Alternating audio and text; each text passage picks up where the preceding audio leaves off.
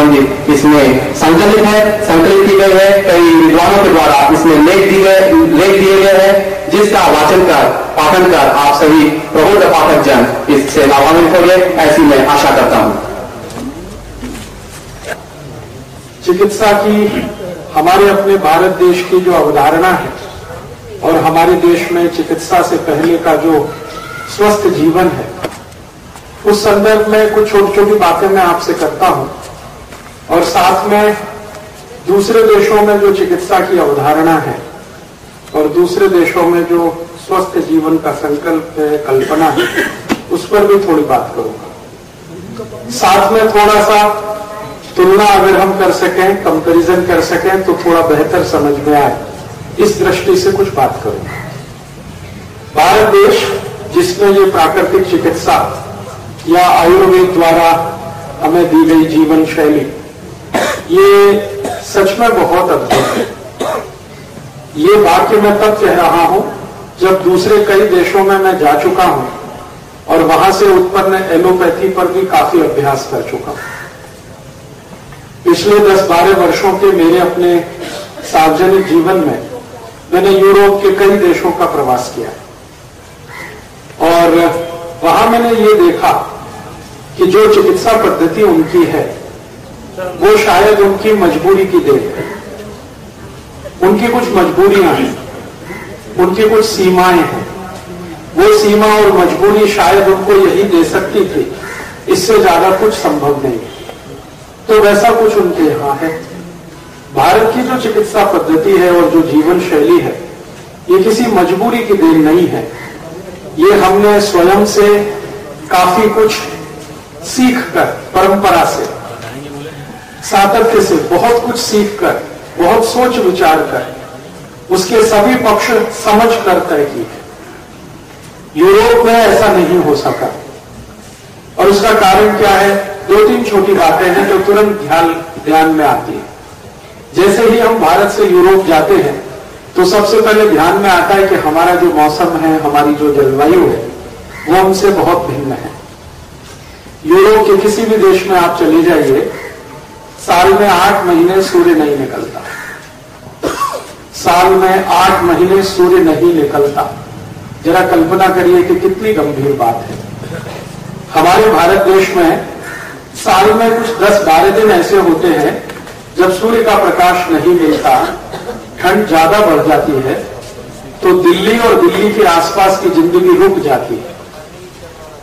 आप कई बार अखबार पढ़ते होंगे तो आपको ये सुनने में मिलता होगा कि आज सभी फ़्लाइट कैंसिल हो गई, क्योंकि धुंध बहुत है, धुआँ बहुत है, कोहरा बहुत है तो दिल्ली के हवाई अड्डे से कोई हवाई जहाज़ उड़ नहीं सकता। और दिल्ली के हवाई अड्डे पर कोई जहाज़ उतर भी नहीं सकता। फिर कभी खबर आती है कि गाड़ियाँ बारह घंटे लेट चल रही हैं, पंद्रह घंटे लेट चल रही हैं, क्योंकि दिल्ली से आने वाली सभी गाड़ियों के सामने इतना धुंध और कोहरा है एक मीटर दूर का उनको दिखाई नहीं दे रहा है। फिर कभी कभी खबर आती है कि दिल्ली के सभी विद्यालयों की छुट्टी कर दी गई है। पाँच दिन तक स्कूल नहीं खुलेंगे, कॉलेजेस नहीं खुलेंगे, क्योंकि बच्चों को सड़क पर चलने में दिखाई नहीं दे रहा है। कोहरा इतना ज़्यादा हो गया। हम देखते हैं कि ये 10-12 दिन का समय आता है और सारे देश में उथल पुथल मच जाती है। बहुत सारे हवाई यात्रियों को टिकट कैंसिल कराने पड़ते हैं। बहुत सारे हवाई जहाज़ रीशेड्यूल हो जाते हैं। ट्रेनें दस दस बारह बारह घंटे लेट होने के कारण कैंसिल कर दी जाती है। बसों से चलना मुश्किल हो जाता है। लोग घरों में दुबक कर बैठ जाते हैं दिल्ली में। या तो हीटर के सामने बैठे होते हैं या लकड़ी जलाकर बैठे होते हैं। ये मात्र 10-15 दिन भारत में ऐसा आता है। तो पूरे देश में इसका हंगामा सा हो जाता है। आप जरा कल्पना करिए कि जिन देशों में ये लगातार आठ महीने चलता होगा, उनका क्या हाल होता होगा? लगातार आठ महीने।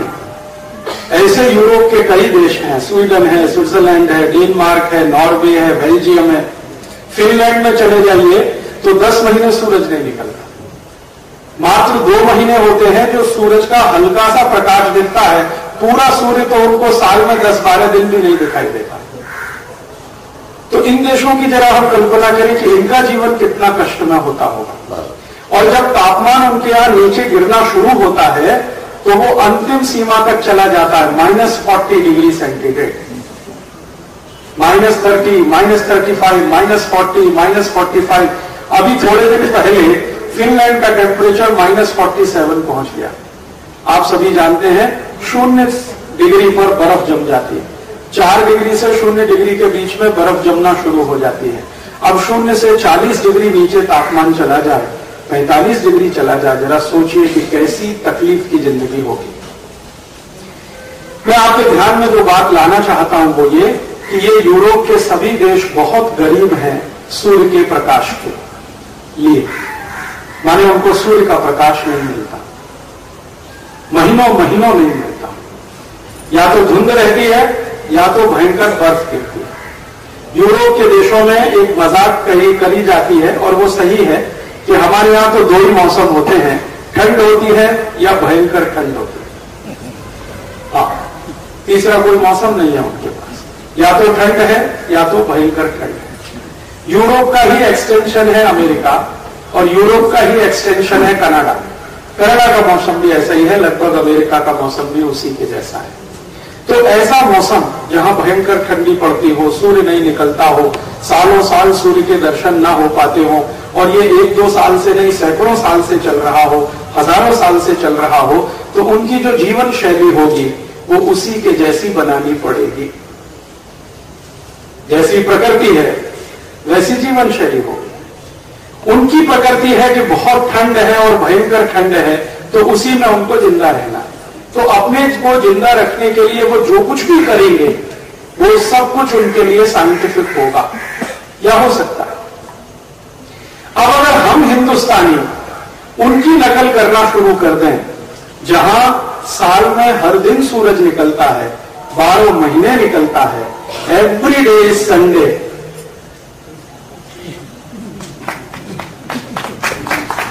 सोचिए ना every day is Sunday Sunday का मतलब छुट्टी का दिन नहीं संडे का मतलब सूर्य का दिन।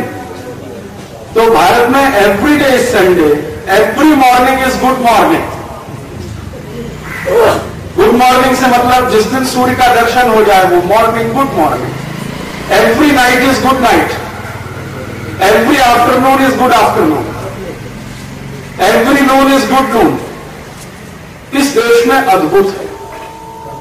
ये सबसे बड़ा अंतर मुझे दिखाई देता है, यूरोप में, भारत में। और जब मैं यूरोप कहूँगा तो आप ये ध्यान रखना कि उसमें अमेरिका, कनाडा भी शामिल है। तो यूरोप में और भारत में सबसे बड़ा अंतर है सूर्य के प्रकाश का। हमें सूर्य का प्रकाश हज़ारों साल से, लाखों साल से, शायद करोड़ों साल से मिल रहा है। या हमारे शास्त्रों में जो कहा गया है कि जब से पृथ्वी है, तब से सूर्य है, और कई शास्त्रों में ये कहा गया है कि सूर्य के कारण ही सब कुछ है। पृथ्वी भी है, चंद्र भी है, बृहस्पति भी है, शनि भी है, मंगल भी है, और ये सब एक दूसरे को बैलेंस किए हुए हैं, संतुलित किए हुए हैं। उसका मुख्य कारण सूर्य है। हमारे शास्त्र ये बात बहुत अच्छे तरीके से हमको समझाते हैं कि अगर सूर्य नहीं होता तो कुछ नहीं होता। और अगर सूर्य है तो सब कुछ है। आप जानते हैं कि मिट्टी में हम दाना डाल देते हैं। उस दाने में से अंकुरण होता है, वो सूर्य की कृपा है। अच्छे से अच्छा बीज आप मिट्टी में डाल दीजिए। अच्छे से अच्छी खाद उसमें मिला दीजिए। अगर सूर्य का प्रकाश नहीं है तो बीज में से कुछ भी अंकुरण नहीं होगा। हम जानते हैं कि अंकुरा होकर कोई पौधा जब बड़ा होता है तो वो सूर्य के प्रकाश से ही भोजन लेता है। ये विज्ञान तो हम सबको बचपन में पढ़ाया जाता है कि पौधों के पत्तों में क्लोरोफिल होता है, वो सूर्य के प्रकाश की उपस्थिति में भोजन बनाते हैं, उस भोजन में से कुछ अपने लिए रखते हैं, बाकी दुनिया को दे देते हैं। जो दुनिया को वो दे देते हैं, वो ऑक्सीजन है, प्राणवायु है, जो अपने लिए रख लेते हैं, वो कार्बन डाइऑक्साइड है। लेकिन ये होता सब सूर्य के प्रकाश में ही है। अगर सूर्य का प्रकाश ना हो तो पौधे भी काम नहीं कर सकते। तो बीज डालना, बीज का अंकुरण होना, अंकुरण में से पौधा बनना, पौधे में से फल बनना यह भी सूर्य के प्रकाश का ही कमाल है। हम जानते हैं, कभी भी फ़सल अच्छी आ रही है, और अच्छी फ़सल का मतलब उसमें दाने पड़ रहे हैं। मान लो गेहूँ की फ़सल है और अच्छे दाने पड़ रहे हैं।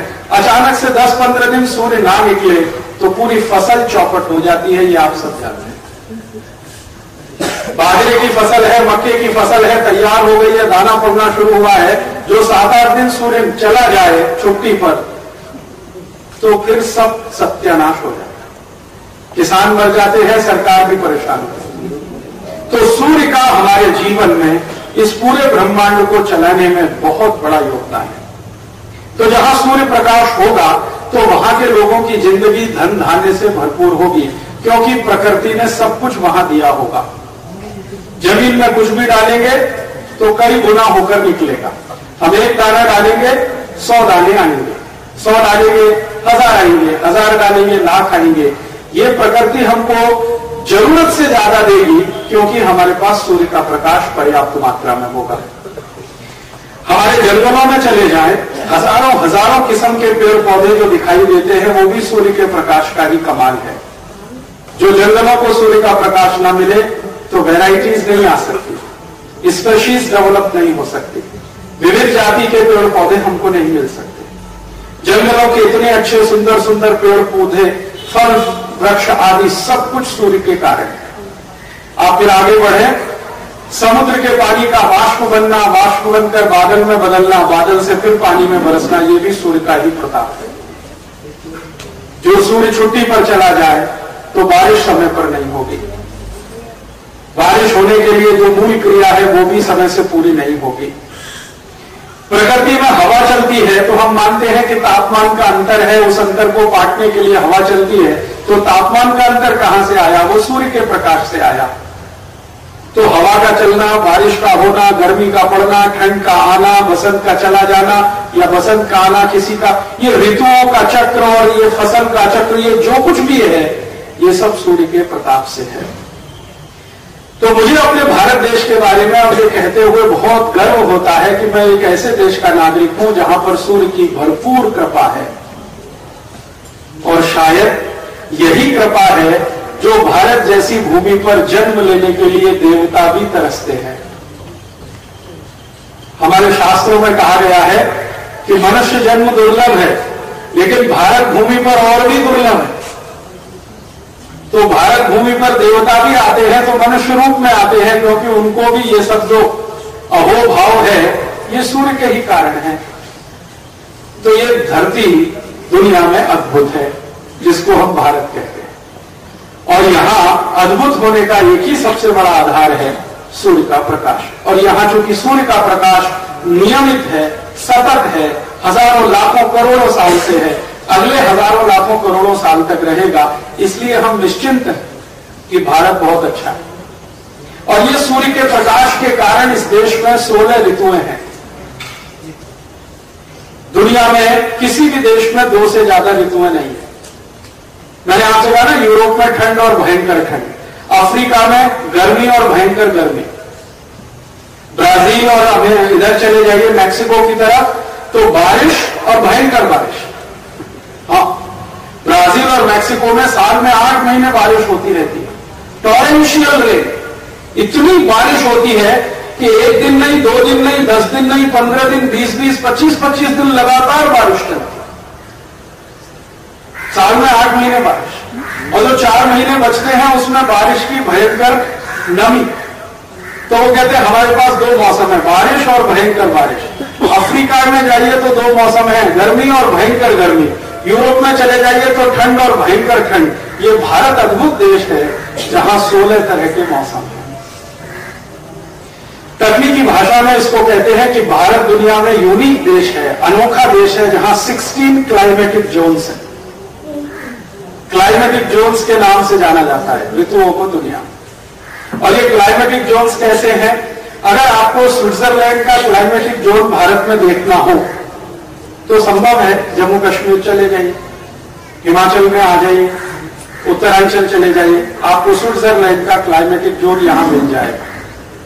अगर आपको ब्राज़ील और मैक्सिको का क्लाइमेटिक जोन देखने हो तो भारत में आ जाइए, चेरापूंजी चले जाइए, बंगाल में चले जाइए आसाम में आ जाइए, कर्नाटक में आ जाइए। कर्नाटक में एक स्पेशल एरिया है जिसको मलनाड एरिया कहते हैं। वहाँ आपको ब्राज़ील और मैक्सिको का क्लाइमेटिक जोन दिखाई देगा। अगर इसको अफ्रीका देखना है किसी को भारत में, अफ्रीका जैसी गर्मी और भयंकर गर्मी देखनी है और अफ्रीका का मरुस्थल सहारा वाला क्लाइमेटिक जोन देखने हैं तो राजस्थान आ जाइए, जैसलमेर चले जाइए, बीकानेर चले जाइए, जोधपुर आ जाइए, बाड़मेर आ जाइए। आपको सहारा रेगिस्तान दिखाई दे जाएगा। अगर आपको ऑस्ट्रेलिया और न्यूजीलैंड का दलदली इलाका देखना है, कीचड़ वाला इलाका। आप जानते हैं न्यूजीलैंड और ऑस्ट्रेलिया में बहुत मिट्टी ऐसी है जो कीचड़ वाली। तो वो भारत में मिल जाएगा, बिहार में आ जाइए। पूर्वी उत्तर प्रदेश में आ जाइए। बहुत दलदली इलाका आपको मिल जाएगा। दुनिया के किसी भी देश का मौसम अगर देखना चाहें तो इस भारत में संभव है। इसलिए दुनिया के सारे जानकार पर्यटक भारत भागने के लिए परेशान रहते हैं। जब भी उनको छुट्टी मिलती है, उनके काम से और थोड़ा पैसा हो जाता है तो वो घूमने के लिए सबसे पहले भारत में ही आते हैं।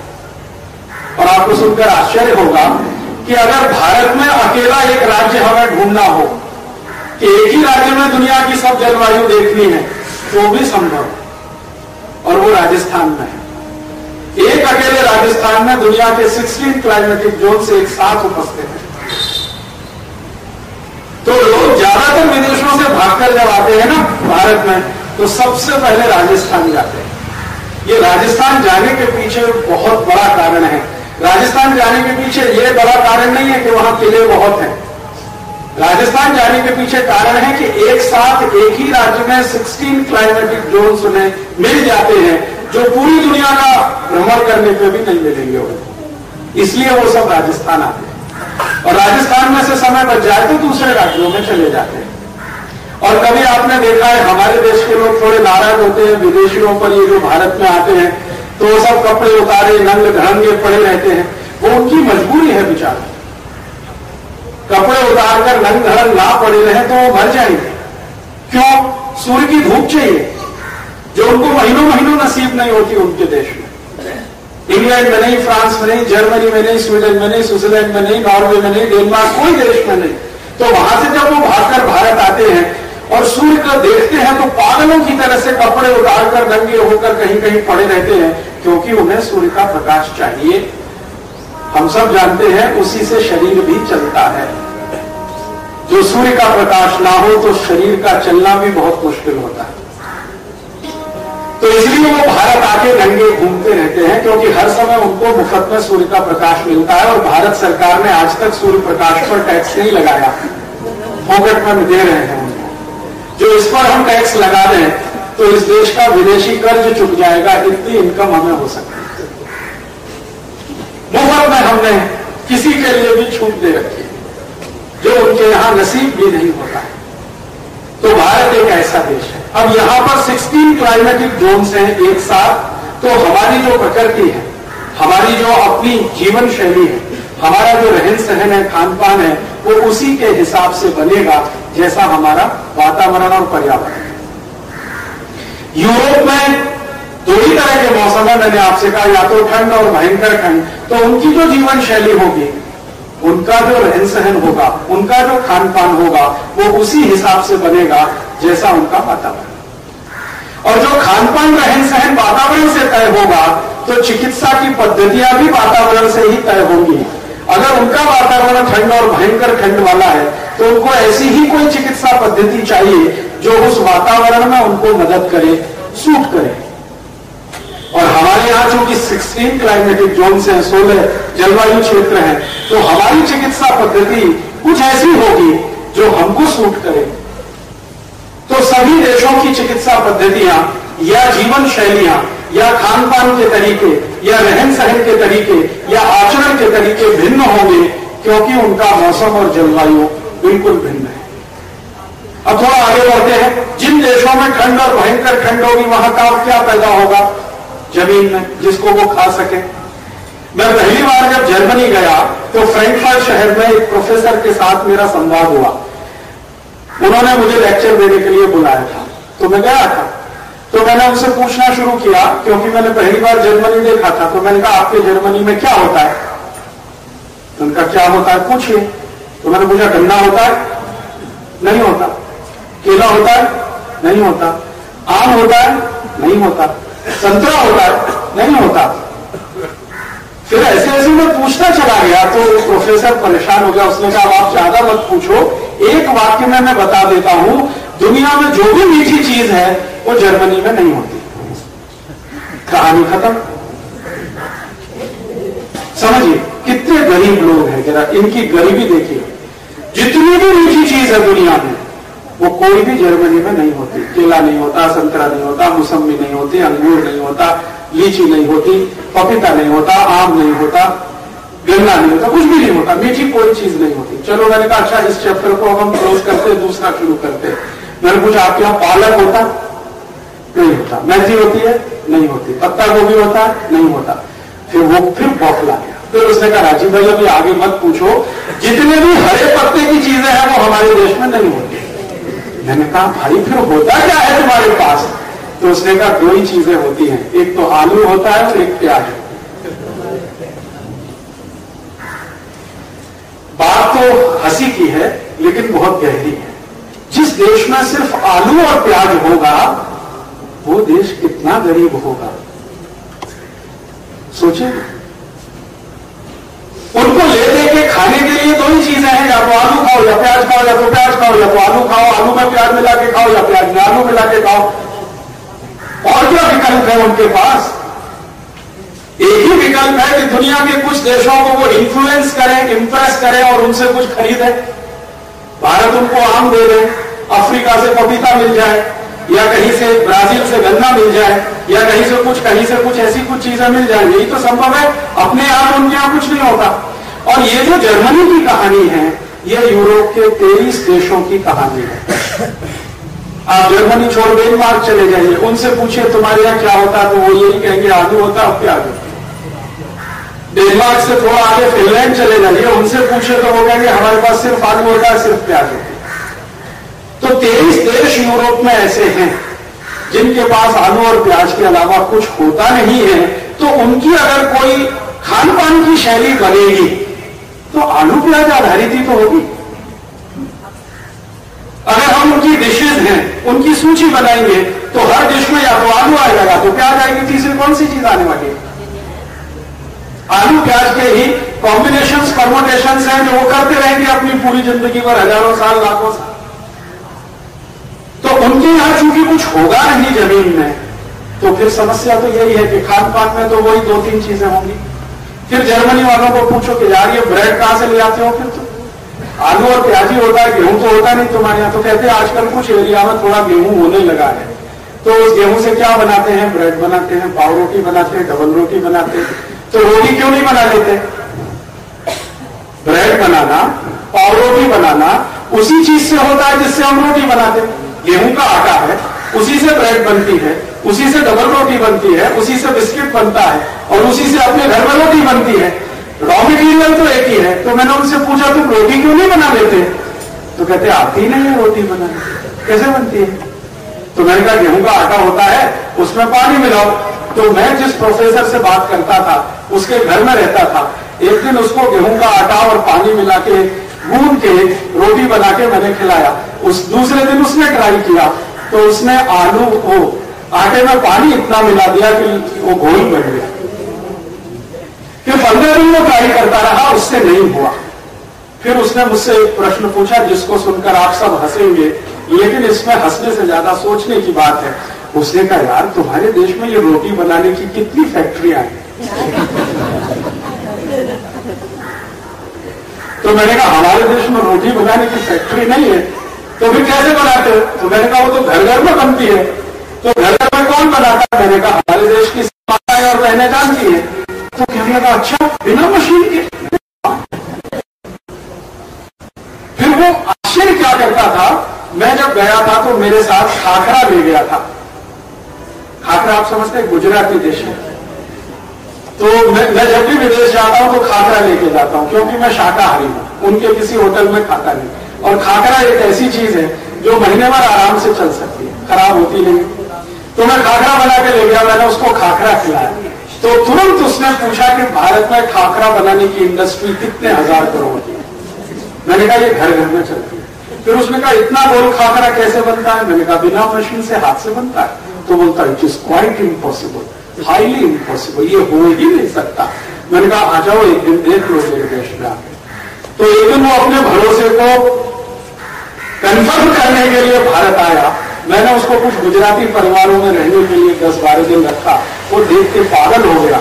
यहाँ से जब गया तो कहने लगा, अगली बार मैं ईसा मसीह से प्रार्थना करूँगा। मेरा जन्म भारत में हो आपको सुनकर ताज्जुब होगा यूरो की कुल पॉपुलेशन 27 करोड़ है, उसमें 12 करोड़ महिलाएँ हैं। किसी भी महिला को रोटी बनानी नहीं आती। कोई महिला वहाँ की रोटी बनाना नहीं जानती। और भारत में 110 करोड़ की जनसंख्या में लगभग 50 करोड़ माताएँ हैं। एक भी माँ ऐसी नहीं है इस देश में जिसको रोटी बनाना नहीं आता। इस सच्चाई के साथ कि हिंदुस्तान में रोटी बनाने के लिए कोई यूनिवर्सिटी नहीं चलती। कोई डिग्री कॉलेज नहीं चलता, कोई इंजीनियरिंग कॉलेज नहीं है, कोई कॉलेज नहीं है। माताओं से, बेटियों को, बेटियों से फिर उनकी बेटियों को, बेटियों से फिर उनकी बेटियों को। परंपरा के साथ ये ज्ञान हज़ारों साल से चलता आया है। और रोटी भी इस देश में पता है, एक सौ तिरपन तरह की बनती है। गुजरात की रोटियाँ, तेरह चौदह तरह की रोटियाँ अकेले गुजरात में। महाराष्ट्र की रोटी, पंजाब की, हरियाणा की, किसी भी राज्य में चले जाइए, रोटी की अलग अलग तरीके। अलग अलग डिशेस और अलग अलग उनके टेस्ट अलग अलग उनके स्वाद। ये कैसे संभव है? अपने इस देश में और वहाँ क्यों नहीं संभव है? उसका कारण है वातावरण, प्रकृति और पर्यावरण। हमारे दुनिया के वैज्ञानिक भी मानते हैं कि फंक्शनल नॉलेज जिस समाज में ज़्यादा होती है, उन्हीं समाजों में ये सब संभव होता है। फंक्शनल नॉलेज व्यवहारिक ज्ञान जिस समाज में ऊँचा होता है उसी समाज में गेहूँ से आप डेढ़ सौ किस्म की रोटियाँ बना सकते हैं। और जहाँ फंक्शनल नॉलेज बहुत कम होती है, उस समाज में आप गेहूँ से ले दो के पाव रोटी बना के ही खा सकते हैं, इसके आगे आप नहीं बढ़ सकते। इस भारत देश में फंक्शनल नॉलेज बहुत है। और शायद वो हमारे अपने दिमाग और शरीर का और प्रकृति का कोई मेल जोड़ है, उसके कारण होगा, जो उनके यहाँ दिखाई नहीं देता। है मैं तो ये सुनकर ताजुब करता था, फिर मैंने जब देख लिया आँखों से कि यूरोप की कोई भी महिला और अमेरिका की किसी महिला को दूध से दही बनाना नहीं आता। वो दही के नाम पर योगर खाते हैं। योगर दही नहीं होता। दही अलग चीज़ है, योगर्ट अलग चीज़। तो उनके पास और कुछ नहीं है योगर्ट के अलावा। उनको ये समझाओ कि दूध में थोड़ा दही मिला दो, गर्म करके तो दही बन जाता है। ये उनकी कल्पना के बाहर की चीज़ और इससे एक कदम आगे बढ़े। यूरोप के किसी परिवार को दही से मट्ठा बनाना नहीं आता। मट्ठे से मक्खन निकालना, मक्खन को गर्म करके घी बनाना, कोई नहीं जानता। इसलिए वो क्या करते हैं? दूध में से सीधे घी निकालते हैं। जिसको बटर ऑयल कहते हैं। वो घी नहीं होता, बटर ऑयल। नहीं होगा मट्ठा नहीं होगा सब्ज़ियाँ नहीं होंगी और हमारे काम आने वाले जो मसाले हैं, जो वास्तव में औषधियाँ हैं, वो नहीं होंगी, क्योंकि ये जो मसाले हैं, इतनी जात जात के इतनी तरह तरह के काली मिर्च है, दालचीनी है बड़ी इलायची है, छोटी इलायची है, ये है, वो है, ये सब उन्हीं देशों में होंगे, जहाँ सूर्य का प्रकाश होगा जहाँ है ही नहीं सूर्य का प्रकाश वहाँ ये सब नहीं होंगे। तो अब वहाँ नहीं होंगे तो खाएँगे नहीं। खाएँगे नहीं तो जीवन शैली में आएगा नहीं। और जीवन शैली में नहीं आएगा तो आने वाली पीढ़ियों में भी नहीं आएगा। आप जानते एक खास तरह की जीवन शैली को हम बिताते हैं, उसी जीवन शैली में से आने वाली पीढ़ियों को ज्ञान और संस्कार मिलते चले जाते उनके यहाँ तो ये होगा नहीं तो खाएँगे, पिएँगे नहीं इन सब चीज़ों को। उनकी जीवन शैली में ये आएगा नहीं, उनके रसोई में ये आएगा नहीं। तो उनकी रसोई और आपकी रसोई में ज़मीन आसमान का अंतर होगा।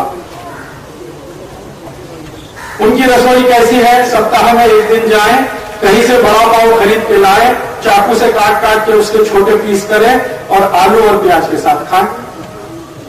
इसके अलावा और क्या? और आलू और प्याज से सब्ज़ी बनाना भी ना आए तो बाज़ार से बनी बनाई डिब्बा बंद सब्ज़ी लेके आए। और उसको पाव रोटी और डबल रोटी से खाएँ। तो सब्ज़ी तो तभी लाएँगे, जब मिले। मिलेगी तो सप्ताह में कोई एक या दो दिन, रोज मिलेगी नहीं, क्योंकि इतनी होती नहीं। दालें होती नहीं, यूरोप में कहीं दाल नहीं होती, अमेरिका में कहीं दाल नहीं होती। तो दाल खाना और दाल की डिश बनाना, उनकी कल्पना के बिल्कुल बाहर है। जो भारत दाल बेचना उनको बंद कर दे तो पागल होके मर जाए। प्रोटीन के लिए उनके पास ले दे के एक ही स्रोत होगा, वो या तो अंडा होगा, या तो कुछ मांस होगा। हमारी तरह थोड़ी है कि 10-15 तरह की दाल इस देश के हर गाँव में होती है, हर जगह मिलती है। और यूरोप और अमेरिका की सबसे बड़ी जो बेचैनी है, और उनकी जो सबसे बड़ी कम नसीबी है, गरीबी है वो ये, कि उनके यहाँ हर क्षेत्र में सब कुछ नहीं होता। कोई एक क्षेत्र में कुछ होगा, कोई दूसरे क्षेत्र में कुछ होगा। यूरोप में मुश्किल से तेईस देशों में देश हैं जहाँ थोड़ा गेहूँ होता है, बाकी देशों में गेहूँ भी नहीं होता। तो बेचारे वो क्या करते हैं? गेहूँ एक कुनी कुनी देशों में, थोड़े से देशों में गेहूँ होता है। फिर उस गेहूँ को ट्रांसपोर्ट करके दूसरे देशों में भेजते हैं। फिर उनसे आटा बनाते हैं। आटे से पाव रोटी डबल रोटी बनती है। बड़े बड़े ट्रकों में भरकर फिर उन देशों में वापस जाती है। तो ट्रकों का आना जाना 80 प्रतिशत तो वहाँ पाव रोटी के लिए होता। है यूरोप की किसी भी बड़ी सड़क पर आप खड़े हो जाइए और गुजरते हुए ट्रकों को गिनना शुरू कर दीजिए सवेरे से शाम तक। तो 80 प्रतिशत ट्रक जो गुजर जाएँगे आपकी आँखों के सामने, उनमें पाव रोटी और डबल रोटी ही लदी हुई होगी। ट्रांसपोर्टेशन उनका जो मैक्सिमम है, वो पाव रोटी और डबल रोटी का है, क्योंकि हर देश में गेहूँ नहीं है, हर देश में गेहूँ का आटा है। अमेरिका में भी यही हाल है। अमेरिका के कुछ इलाकों में गेहूँ बहुत होता है, कुछ इलाकों में बिल्कुल नहीं होता। अमेरिका में गेहूँ जहाँ होता है, वहाँ से भर भर के लाते हैं, बड़े फ्लोर मिल्स में डालते हैं, फिर वहाँ से आटा भर के ट्रकों में जाता है डबल रोटी के कारखानों में पहुँचाया जाता है, फिर वहाँ से पाव रोटी डबल रोटी बनती है डिपार्टमेंटल स्टोर्स में लाई जाती है, फिर डिपार्टमेंटल स्टोर में जा जाकर लोग खरीद कर लाते हैं। और सामान्य रूप से कोई डबल रोटी और पाव रोटी तीन महीने के पहले उनको मिलती नहीं खाने के लिए। तीन तीन महीने पुरानी होती है। अब तीन महीने पुरानी डबल रोटी पाव रोटी को बचा के रखना है तो उसके लिए उन्हें कोई तो सिस्टम चाहिए। इसलिए एयर कंडीशनिंग सिस्टम हर जगह, हर स्थान पर उनके लिए मजबूरी है। ये उनका स्टेटस सिंबल नहीं है, ये उनकी मजबूरी है। सब्ज़ी मिलेगी नहीं ताज़ा, क्योंकि होती नहीं है। तो डिब्बाबंद सब्ज़ी आएगी, दूसरे देशों से आएगी। जब आएगी तभी मिलेगी। तो लोगों की मजबूरी है कि हफ़्ते हफ़्ते भर की सब्ज़ी उठाकर एक साथ लाएँ फ्रीजर में भर के रखें। तो रेफ्रिजरेटर उनके घरों की मजबूरी है स्टेटस सिंबल यही है।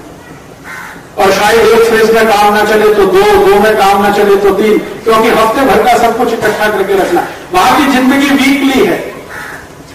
हमारी डेली है, उनकी वीकली है। हफ़्ते की ज़िंदगी एक साथ चलती है।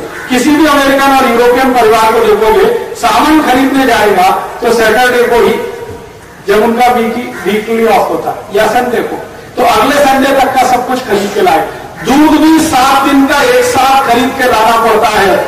इतने गरीब है कि रोज का ताज़ा दूध भी पीने को नहीं मिलता। रोज का ताज़ा दूध पीने को नहीं मिलता। जिस दूध के बारे में शास्त्र कहता है कि दूध एक घंटे के अंदर पी जा, पी लिया जाना चाहिए। निकालने से एक घंटे के अंदर पी लिया जाना चाहिए। उस दूध को यूरोप और अमेरिका वाले सात सात दिन में पी पाते हैं, एक बार। ये उनकी कुछ मजबूरियाँ हैं। उनकी कुछ सीमाएँ हैं। वो प्रकृति ने उनको दी है। उन मजबूरियों और सीमाओं में उनकी ज़िंदगी चलती है। तो उनकी ज़िंदगी जैसे चलेगी, अगर हम वैसे ही करने लगेंगे तो हम महामूर्ख ही साबित होंगे। को हम स्टेटस सिंबल मानने लगे कि जी, उनके घर में फ्रिज है तो हमारे घर में क्यों नहीं? ये तो मूर्खता होगी हम उनकी ज़िंदगी का स्टेटस सिंबल बनाए कि वो तो जी टमाटर की चटनी बना के खाते हैं, मैगी, जो तीन तीन महीने, चार चार महीने पुरानी होती है। हम भी वो मैगी खाएँ। जिस देश में रोज टमाटर मिलता हो, सवेरे शाम मिलता हो, ताज़ा बना के हम तीन बार खाएँ, हम फिर मैगी की बोतल खरीद कर लाए तो ये मूर्खता होगी हम जिस देश में सैकड़ों किस्म की रोटियाँ बना सकते हैं, उस देश के घरों में पाव रोटी और डबल रोटी आने लगे तो ये महामूर्खता होगी हमें ज़रूरत नहीं। हम योगर्ट खाने लगे और आइसक्रीम खाने लगे। वो तो बेचारे गरीब लोग हैं कि उनके पास आइसक्रीम और योगर्ट के अलावा कोई स्वीट डिश है ही नहीं। ले दे के तीसरी एक है वो केक। यहाँ तो हिंदुस्तान में चले जाइए, चौसठ तरह की मिठाइयाँ हर शहर में बनती ये मुझे एक दिन पता चला जब मथुरा वृंदावन गया तो भगवान कृष्ण को भोग लगाया जा रहा है। चौसठ मिठाइयाँ हैं। मैंने लिस्ट बनाना शुरू किया उनका। दिमाग घूम गया मुझे। अकेले बेसन से मैंने देखा तेईस मिठाइयाँ बनी हुई रखी है, खाली बेसन। गाजर का एक, मैंने उनसे पूछा था, उन्होंने कहा, पंडित जी, एक थे, उन्होंने कहा, गाजर की तिहत्तर मिठाइयाँ बनती हैं यहाँ मथुरा में। दूध से कितनी मिठाइयाँ? दही और दूध के कितने कॉम्बिनेशन इस देश में? तो यहाँ वेराइटीज हैं। इतनी ज़्यादा वेराइटीज हैं। वो हमारे फंक्शनल होने का प्रमाण है। मैं कभी कभी भारत में घूमता हूँ तो परेशान हो जाता हूँ। आंध्र प्रदेश में पिछले दो साल से मैं घूम रहा हूँ। आम के अचार 500 तरह के मैंने देखे हैं आंध्र प्रदेश में। 500 किस्म के आम के अचार। आम जो है ना हाईली पेरिशेबल आइटम है, आप जानते हैं। सबसे जल्दी खराब होने वाला है। इस देश की माताओं के हाथ में क्या टेक्नोलॉजी है? कि उसको अचार के रूप में 20-20 साल सुरक्षित रख लेते बिना किसी प्रिजर्वेटिव के बिना किसी केमिकल के। 20 साल का आम का अचार मैंने खाया। और अभी भी उतना ही स्वादिष्ट है। और दुनिया के किसी देश में जाकर मैं ये बोलना शुरू करता हूँ तो वो पागलों की तरह से देखते हैं कि ये क्या बकवास कर रहा है। ये रोज हमारी ज़िंदगी में हो रहा है। उनको ये बकवास लगती है, यहाँ हमारी ज़िंदगी ऐसे ही चलती है। तो मैं आपके ध्यान में दो बातें लाना चाहता हूँ, वो ये कि यूरोप भिन्न है, भारत भिन्न है। मैं ये नहीं कह रहा हूँ कि हम ऊँचे हैं, वो नीचे हैं, या वो ऊँचे हैं, हम नीचे हैं। ऊँचा नीचा का प्रश्न नहीं है, भिन्नता की बात बता। हमारी भिन्नताएँ और हर जगह पर है। हमारे पर्यावरण में, हमारी प्रकृति में, सूर्य के प्रकाश में पानी के साथ, हवा के साथ, तब तापमान में हर जगह भिन्नता है खान पान में भिन्नता है रहन सहन में भिन्नता है, आचरण व्यवहार में भिन्नता है, यूरोप में बिल्कुल है। और जब हर चीज़ में भिन्नता होगी तो चिकित्सा पद्धति में भी भिन्नता होगी। क्योंकि चिकित्सा पद्धति तो उसी में से निकली है जो तो हमारा नॉलेज सिस्टम है। नॉलेज सिस्टम के बाहर तो कोई चिकित्सा पद्धति नहीं आ सकती। तो हमारा नॉलेज सिस्टम एक खास तरह का है यूरोप का दूसरे तरह का है। उनके नॉलेज सिस्टम में से कोई चिकित्सा पद्धति निकली, हमारे नॉलेज सिस्टम में से हमारे तरह की चिकित्सा पद्धति निकली। तकलीफ़ कहाँ हो गई? जब हमने उनकी चिकित्सा पद्धति को, उनके खान पान को, उनके रहन सहन को, उनके आचार व्यवहार को अपना बनाना शुरू किया, वहीं से हमारा सत्यानाश होना शुरू हो गया। और ये कब से हुआ? जब से ये यूरोपियन हमारे देश में आने लगे। सबसे पहला यूरोपीय भारत में जो आया वो वास्को डिगामा चौदह सौ बानवे में। उसके पीछे पुर्तगाली, फिर फ्रांसीसी, फिर डच लोग फिर स्पेनिश, फिर अंग्रेज़। ये आते गए। हम इनके मोह में फंसते चले। हमने उनकी एक ही चीज़ देखी, गोरा रंग। बाकी कुछ नहीं देखा। उस गोरे रंग के पीछे क्या क्या है? वो हमें समझ में भी नहीं आया। तो हम फंस गए यार, ये तो गोरे रंग वाले हैं, शायद ज़्यादा अकल वाले हैं, ज़्यादा विद्वान हैं, ज़्यादा होशियार हैं, ज़्यादा इंटेलिजेंट हैं तो ये जैसा करते हैं, वैसे ही करो। तो उनकी जीवन शैली में शायद शराब सामान्य बात है, क्योंकि ना पिए तो ज़िंदा ना रहे। हमने उसको अपने देश में ले लिया कि भाई वो शराब पी रहे तो हम भी पिए। उनकी जीवन शैली में कॉफ़ी और चाय सामान्य बात है, क्योंकि जब बहुत ज़्यादा ठंड होगी तो ब्लड प्रेशर मेंटेन रखने के लिए कॉफ़ी पीनी ही पड़ेगी कॉइनेक पीनी ही पड़ेगी वाइन पीनी ही पड़ेगी विस्की पीनी ही पड़ेगी, नहीं तो आपका ब्लड प्रेशर नॉर्मल रहेगा नहीं। एबनॉर्मल एनवायरमेंटल कंडीशन में नॉर्मल ब्लड प्रेशर कैसे रहेगा? जरा सोचो माइनस फोर्टी डिग्री सेंटीग्रेड तापमान हो गया तो ब्लड प्रेशर नॉर्मल कैसे रहेगा? क्योंकि ब्लड प्रेशर पे भी पर्यावरण और वातावरण का पूरा असर रहता है तो उनको अपना ब्लड प्रेशर नॉर्मल रखने के लिए कुछ खाना पीना पड़ेगा। वो शायद उनकी आहार पद्धति और चिकित्सा में आएगा, लेकिन वो ज़रूरी नहीं, हमारे लिए भी हो। वो विस्की पीते तो हमने भी चालू कर दिया। वो कॉइक पीते हमने भी शुरू कर दिया। वो चाय कॉफ़ी पीते हमने भी पीना शुरू कर दिया। अब उनके यहाँ कुछ है नहीं तो वो रोटी घरों रोटी खाते, हमने भी शुरू कर दिया। उनके यहाँ कुछ है नहीं तो बिस्किट खाते तो हमने भी खाना शुरू कर दिया।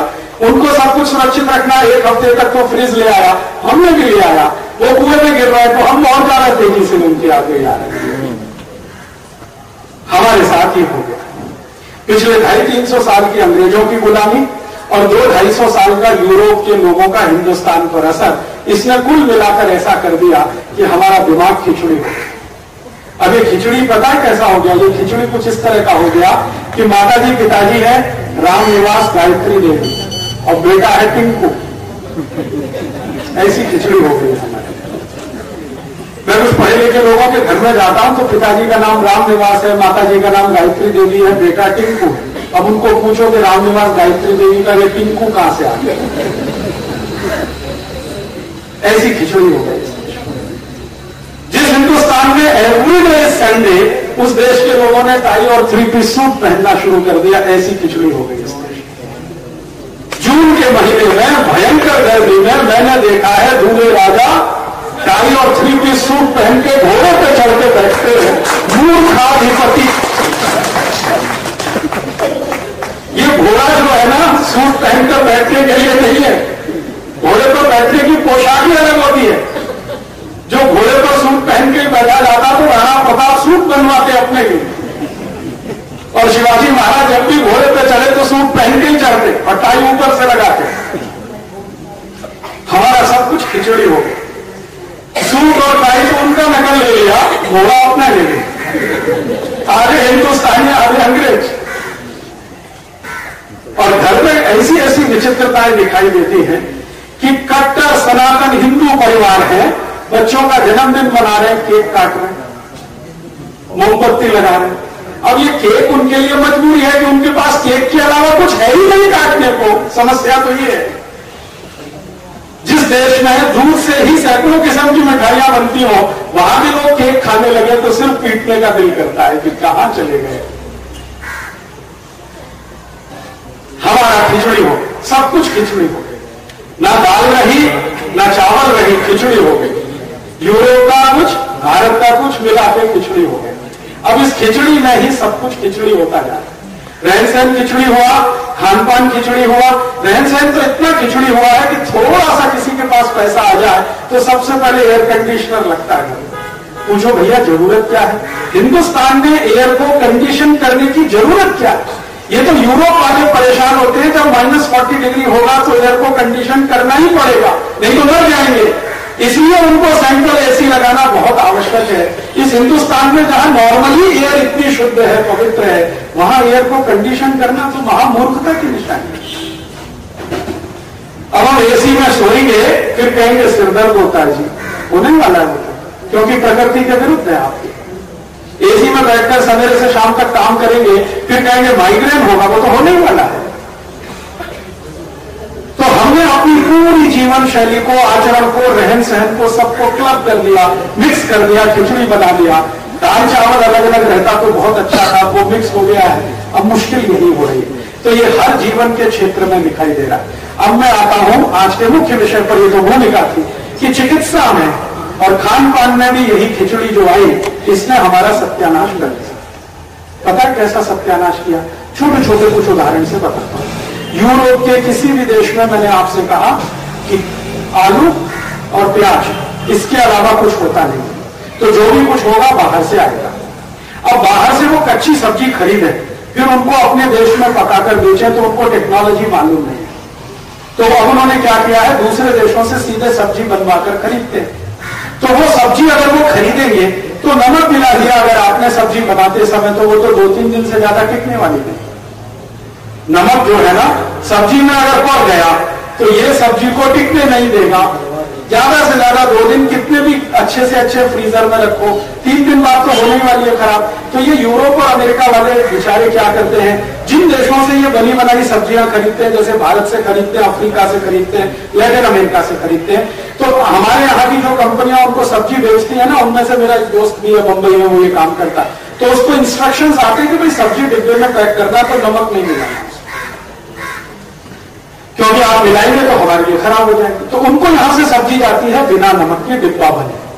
अब वो सब्ज़ी जब खाएँगे, अपनी प्लेट पर परोसेंगे, तब उसमें अलग से नमक मिलाएँगे। ये तो होगा। तो उनकी सब्ज़ी अगर वो खाएँगे तो बाहर से नमक मिलाएँगे। हम हमारी सब्ज़ी पकाते समय ही नमक मिलाते हैं। दोनों में ज़मीन आसमान का अंतर है। सब्ज़ी को बनाते समय, दाल को पकाते समय जो नमक आपने उसमें डाला है और बनी बनाई सब्ज़ी के बाद में अलग से नमक डाला है, दोनों में ज़मीन आसमान का अंतर है। और इतना ही अंतर है कि एक तरफ़ आप देशी गाय का घी खाएँ और दूसरी तरफ़ डालडा खाएँ। आप जानते हैं, नमक जो है, मसाला नहीं है, मेडिसिन है, औषधि है। और नमक में माइक्रो न्यूट्रिएंट्स हैं। और एक नहीं है, अट्ठारह माइक्रो न्यूट्रिएंट्स है नमक में। सोडियम है उसमें, कैल्शियम है उसमें, पोटेशियम है। शरीर को जो माइक्रो न्यूट्रिएंट्स की आवश्यकता होती है रोज, वो नमक में है। तो ये जो माइक्रो न्यूट्रिएंट्स है, सूक्ष्म पोषक तत्व तो जब आप सब्ज़ी को बनाते समय नमक उसमें डालेंगे तो माइक्रो न्यूट्रिएंट्स की भरपूर पोषकता आपको मिलेगी। और जो बाहर से नमक डालकर खाएँगे तो वो सीधे ब्लड प्रेशर ही बढ़ाएगा और कुछ नहीं करने वाला। ये बाहर से डाला हुआ नमक, सब्ज़ी या दाल में कभी भी खाए तो सीधे ब्लड प्रेशर बढ़ाएगा, क्योंकि माइक्रो न्यूट्रिएंट्स की जो पोषकता मिलनी चाहिए वो नहीं मिलने वाली। हम जो नमक पकाते समय डालेंगे, उसमें माइक्रो न्यूट्रिएंट्स पर्याप्त होंगे। तो हम हिंदुस्तानी हज़ारों लाखों साल से यही करते थे। मैंने मेरे बचपन में मेरी माँ को देखा, मेरी दादी माँ को देखा। खाना बनाते समय, माने सब्ज़ी और दाल बनाते समय ही नमक डालती थी। हमारे बाहर से नमक मांगते थे तो डांटती थी दादी। तेरा दिमाग खराब हो गया? समझता नहीं है कुछ। विज्ञान पढ़ता है, थोड़ी भी विज्ञान नहीं समझती, ये बाहर से नमक नहीं डाला जाता।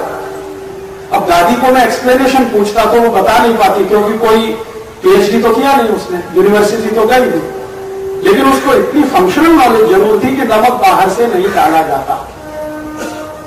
तब मैंने ध्यान देना शुरू किया कि भारत के जितने भी मंदिर हैं, जहाँ पर प्रसाद बनता है भगवान के लिए, वहाँ निषिद्ध है नमक बाहर से डालना। मैं एक बार पुरी के मंदिर में गया उड़ीसा में मुझे प्रसाद चढ़ाना था। आप जानते हैं पुरी के मंदिर में दाल और चावल का प्रसाद चढ़ता है। दाल बनाते हैं हांडी में, चावल बनाते हैं हांडी में। दोनों को साथ ले जाके भगवान को प्रसाद देते तो हुआ क्या कि उसने दाल बना के चावल बना के दिया तो दाल बनाते ही समय नमक डाल दिया। मैंने कहा, भाई, मैं नमक अलग से लेता हूँ। उसने कहा, पागल हो गए, भगवान को नहीं चढ़ाया जाता। बाहर से नमक डालकर दाल भगवान को नहीं चढ़ती, अपवित्र हो जाती है। तब मैंने सोचना शुरू किया कि ये पंडित भी कितना ज्ञानवान आदमी उसने कोई एमबीबीएस और एमडी का कोर्स नहीं किया है, लेकिन उसको मालूम है कि बाहर से नमक नहीं डाला जाता, भगवान को नहीं चढ़ाया जाता। क्यों? क्योंकि भक्तों को नहीं खिलाया जाता तो भगवान को कैसे खिलाए?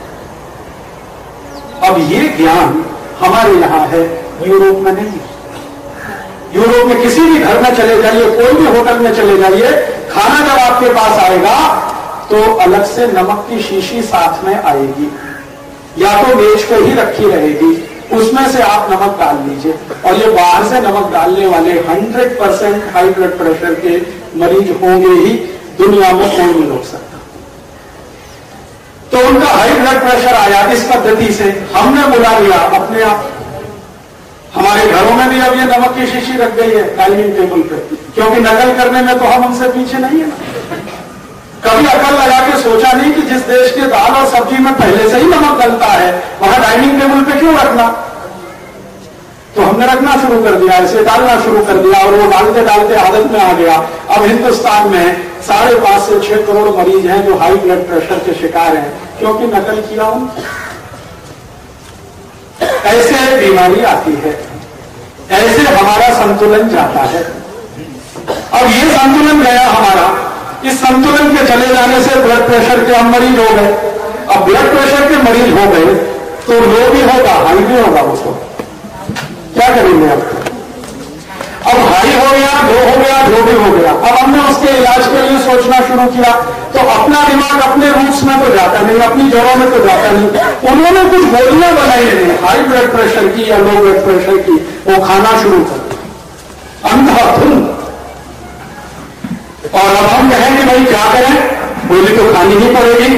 गोली तो खानी पड़ेगी, क्या करें? जरा अक्ल से सोचना शुरू करें कि ये आया क्यों ब्लड प्रेशर हमको? तो आया हमारी गलती से।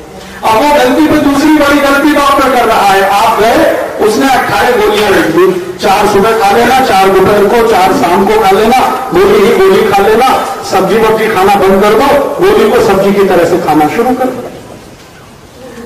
अब वो अठारह गोली लिखने वाला डॉक्टर हमारे लिए बहुत महान डॉक्टर हो गया, क्योंकि अट्ठारह गोली खिला रहा है एक साथ और ऊपर से पाँच सौ रुपए फ़ीस भी ले रहा है।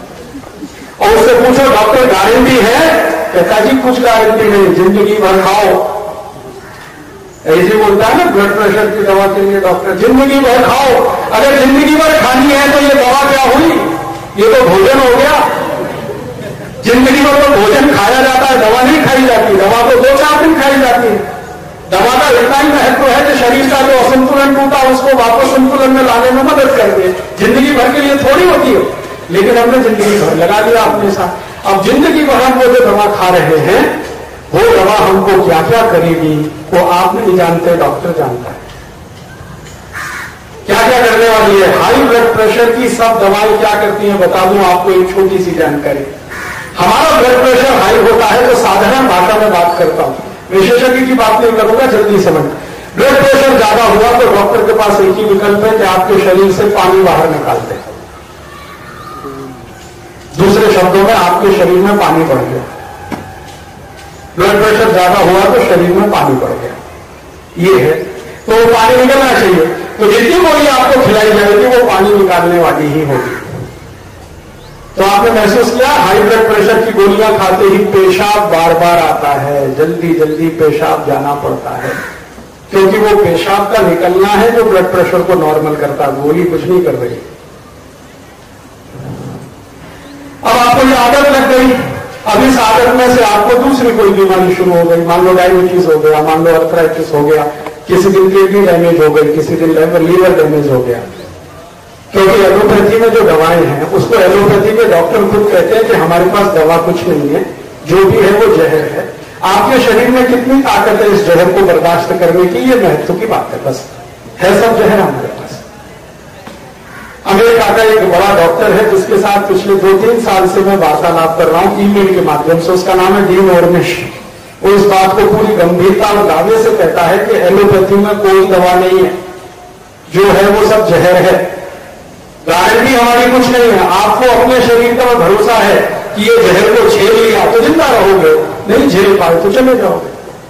दवा हमारे पास कुछ नहीं। वो कहता, दवा तो आपके ही पास होगी मानी भारत के पास होगी, हमारे पास तो नहीं अब जिनके पास दवा ही नहीं है, हम उनके पीछे घूम रहे हैं टॉर्च लेके कि भैया दे दो कुछ दवा ब्लड प्रेशर हाई हो गया ब्लड प्रेशर लो हो गया। उनके पीछे घूम रहे वाले एमबीबीएस पढ़े हुए एमपी पढ़े हुए, जो यूरोप का ज्ञान है और यूरोप का विज्ञान है, उसको पढ़कर तैयार हुए डॉक्टर जिनको पढ़ाया गया है एक खास तरह के वातावरण और पर्यावरण के विज्ञान के लिए। आप जान लीजिए यूरोप और अमेरिका में विकसित हुआ विज्ञान है एमबीबीएस एमडी एमएस और ये अपने पर्यावरण और वातावरण का ध्यान रखते हुए बना है। उसमें वो पढ़े हैं। और वहाँ की पढ़ी हुई बातें आपके ऊपर लागू कर रहे हैं तो वहाँ भी खिचड़ी हो रही है। और वो ऐसी खिचड़ी हो रही है कि आप हंसे या रोए, आपको समझ में नहीं आता।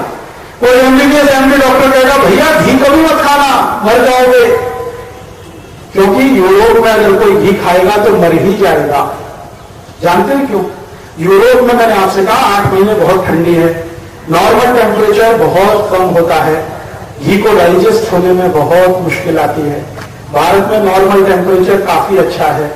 घी का डाइजेशन परफेक्ट हो सकता है। इसलिए हमें घी खाना तो बहुत ज़रूरी है। उनके लिए घी जहर है। हमारे लिए अमृत है। अब हम उनकी नकल में फंस गए।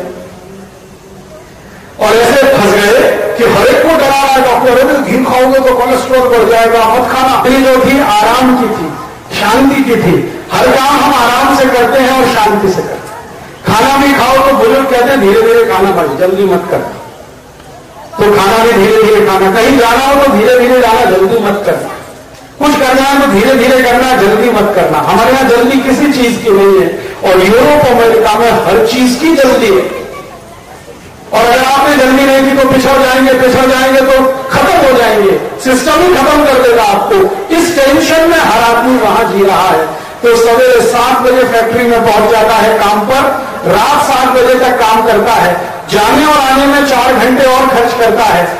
अमेरिका और यूरोप में मैंने देखा है, लोग कितने मुश्किल में जीते हैं, सोच नहीं सकते आप। सामान्य रूप से फैक्ट्री में काम करने वाले नब्बे प्रतिशत लोग हैं, जो नौकर की तरह से रहते हैं। अमेरिका और यूरोप में नब्बे प्रतिशत नौकर है। इनको नौकरी पे जाना है। फैक्ट्री सात बजे चालू हो जाती है। जिस देश में साल में आठ महीने सूरज न निकलता हो, वहाँ सवेरे सात बजे फैक्ट्री का चालू होना कितना त्रास है, जरा सोचो इसको। और सात बजे फैक्ट्री में पहुँचना है तो पाँच बजे घर छोड़ना पड़ता है, क्योंकि घर और फैक्ट्री में कम से कम सौ मील की दूरी है। पाँच बजे घर छोड़ना पड़ेगा। पाँच बजे घर छोड़ने के लिए चार बजे उठना ही पड़ेगा और चार बजे उठने के लिए कम से कम आठ बजे सोना ज़रूरी है, लेकिन आठ बजे कोई नहीं सो पाता वहाँ, क्योंकि फैक्ट्री से लौटने में ही नौ से दस बज जाते नींद पूरी नहीं हो रही है। टेंशन में नींद ले रहे हैं। बीमार नहीं बनेंगे तो क्या होगा जरा सोचो। हमारे यहाँ कहा गया है अच्छा भोजन और अच्छी नींद बहुत आवश्यक है शरीर को स्वस्थ रखने के लिए। ना तो अच्छा भोजन मिल रहा है, ना अच्छी नींद मिल रही है। और टेंशन कितना ज़बरदस्त है। मैंने वहाँ की माताओं को देखा है पुरुष और महिला, पति पत्नी हो या लिविंग रिलेशनशिप में हो, जैसे भी हो, दोनों को नौकरी करनी पड़ती अगर दोनों नौकरी नहीं करेंगे तो घर नहीं चलेगा। तो पत्नी को भी काम पे जाना है सात बजे, पति को भी काम पे जाना है सात बजे। तो सात बजे काम पे जाना है, रात को नौ दस बजे लौटेंगे तो पति पत्नी नॉर्मल क्रियाओं से भी वंचित है ज़िंदगी में। साधारण जीवन को चलाने की जो क्रियाएँ ना, पति पत्नी की उनसे भी वंचित है क्योंकि स्ट्रेस और टेंशन इतना है करें क्या? तो पति पत्नी अपने जीवन की साधारण क्रियाओं के लिए भी एक एक हफ़्ते, पंद्रह पंद्रह दिन इंतज़ार करते हैं, कोई दिन छुट्टी मिले, भरपूर नींद लें, उसके बाद कुछ करें। ये तो उनकी बेचारगी और उससे भी बड़ी बेचारगी जब छोटे बच्चे हो जाए ना तो और भी तकलीफ़ बच्चों को घर रख नहीं सकते, दोनों को काम पे जाना है। आया घर में पाल लें ऐसी हैसियत नब्बे प्रतिशत लोगों की नहीं है। आया को घर में रख सके किराए पर, ऐसी हैसियत नब्बे प्रतिशत लोगों की नहीं है। तो क्या करते हैं? अपने बच्चे को क्रैश में छोड़ते हैं। तो मैंने वहाँ देखा, माताओं को सवेरे चार बजे गाड़ी चलाते हुए निकलती है। उनका छोटा सा बच्चा है। गाड़ी की जो सीट होती है ना सीट, उस पर कपड़े से उसको बाँध के रखते हैं। क्योंकि बोर्ड पर रख नहीं सकते। तीन महीने का बच्चा, दो महीने का बच्चा, एक महीने का बच्चा रो रहा है, चिल्ला रहा है, गाड़ी की सीट से बांधा हुआ है, स्पीड से गाड़ी दौड़ती जा रही है। उस बच्चे को क्रैश में छोड़ना है, इसका टेंशन है। क्रैश से छोड़कर फिर फैक्ट्री में पहुँचना है सात बजे उसका टेंशन है। शाम को सात बजे फिर फैक्ट्री से बच्चे को लेने जाना है क्रैश में, उसका टेंशन है। रात को लाके थोड़ा दूध दूध पे लाके सुला देना है, फिर सवेरे उस बच्चे को छोड़कर आना है। ऐसी ज़िंदगी सालों साल चले, आप सोचो, पागल हो जाओगे आप तो। मैं तो देख नहीं पा पागल हूँ मैं सोचता हूँ कितना सुखी है हम लोग। हमारे घर में किसी दो महीने, तीन महीने का बच्चा है तो ऐसा टेंशन मैंने तो किसी घर में नहीं देखा। दादी है, दादा है, नाना है, नानी है बुआ है, फूफी है, मौसा है, मौसी है ज्वाइंट फैमिली है। और जो कोई नहीं है तो पड़ोसी जिंदाबाद। हाँ? हमारे यहाँ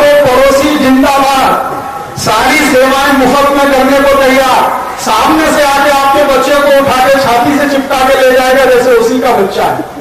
दिन भर उसको अपने बच्चे की तरह से गले में लगाएगा, शाम को सम्मान से वापस दे जाएगा। वो कहेगा, जी, मुझे बहुत मज़ा आया आपके बच्चे के साथ खेलने में।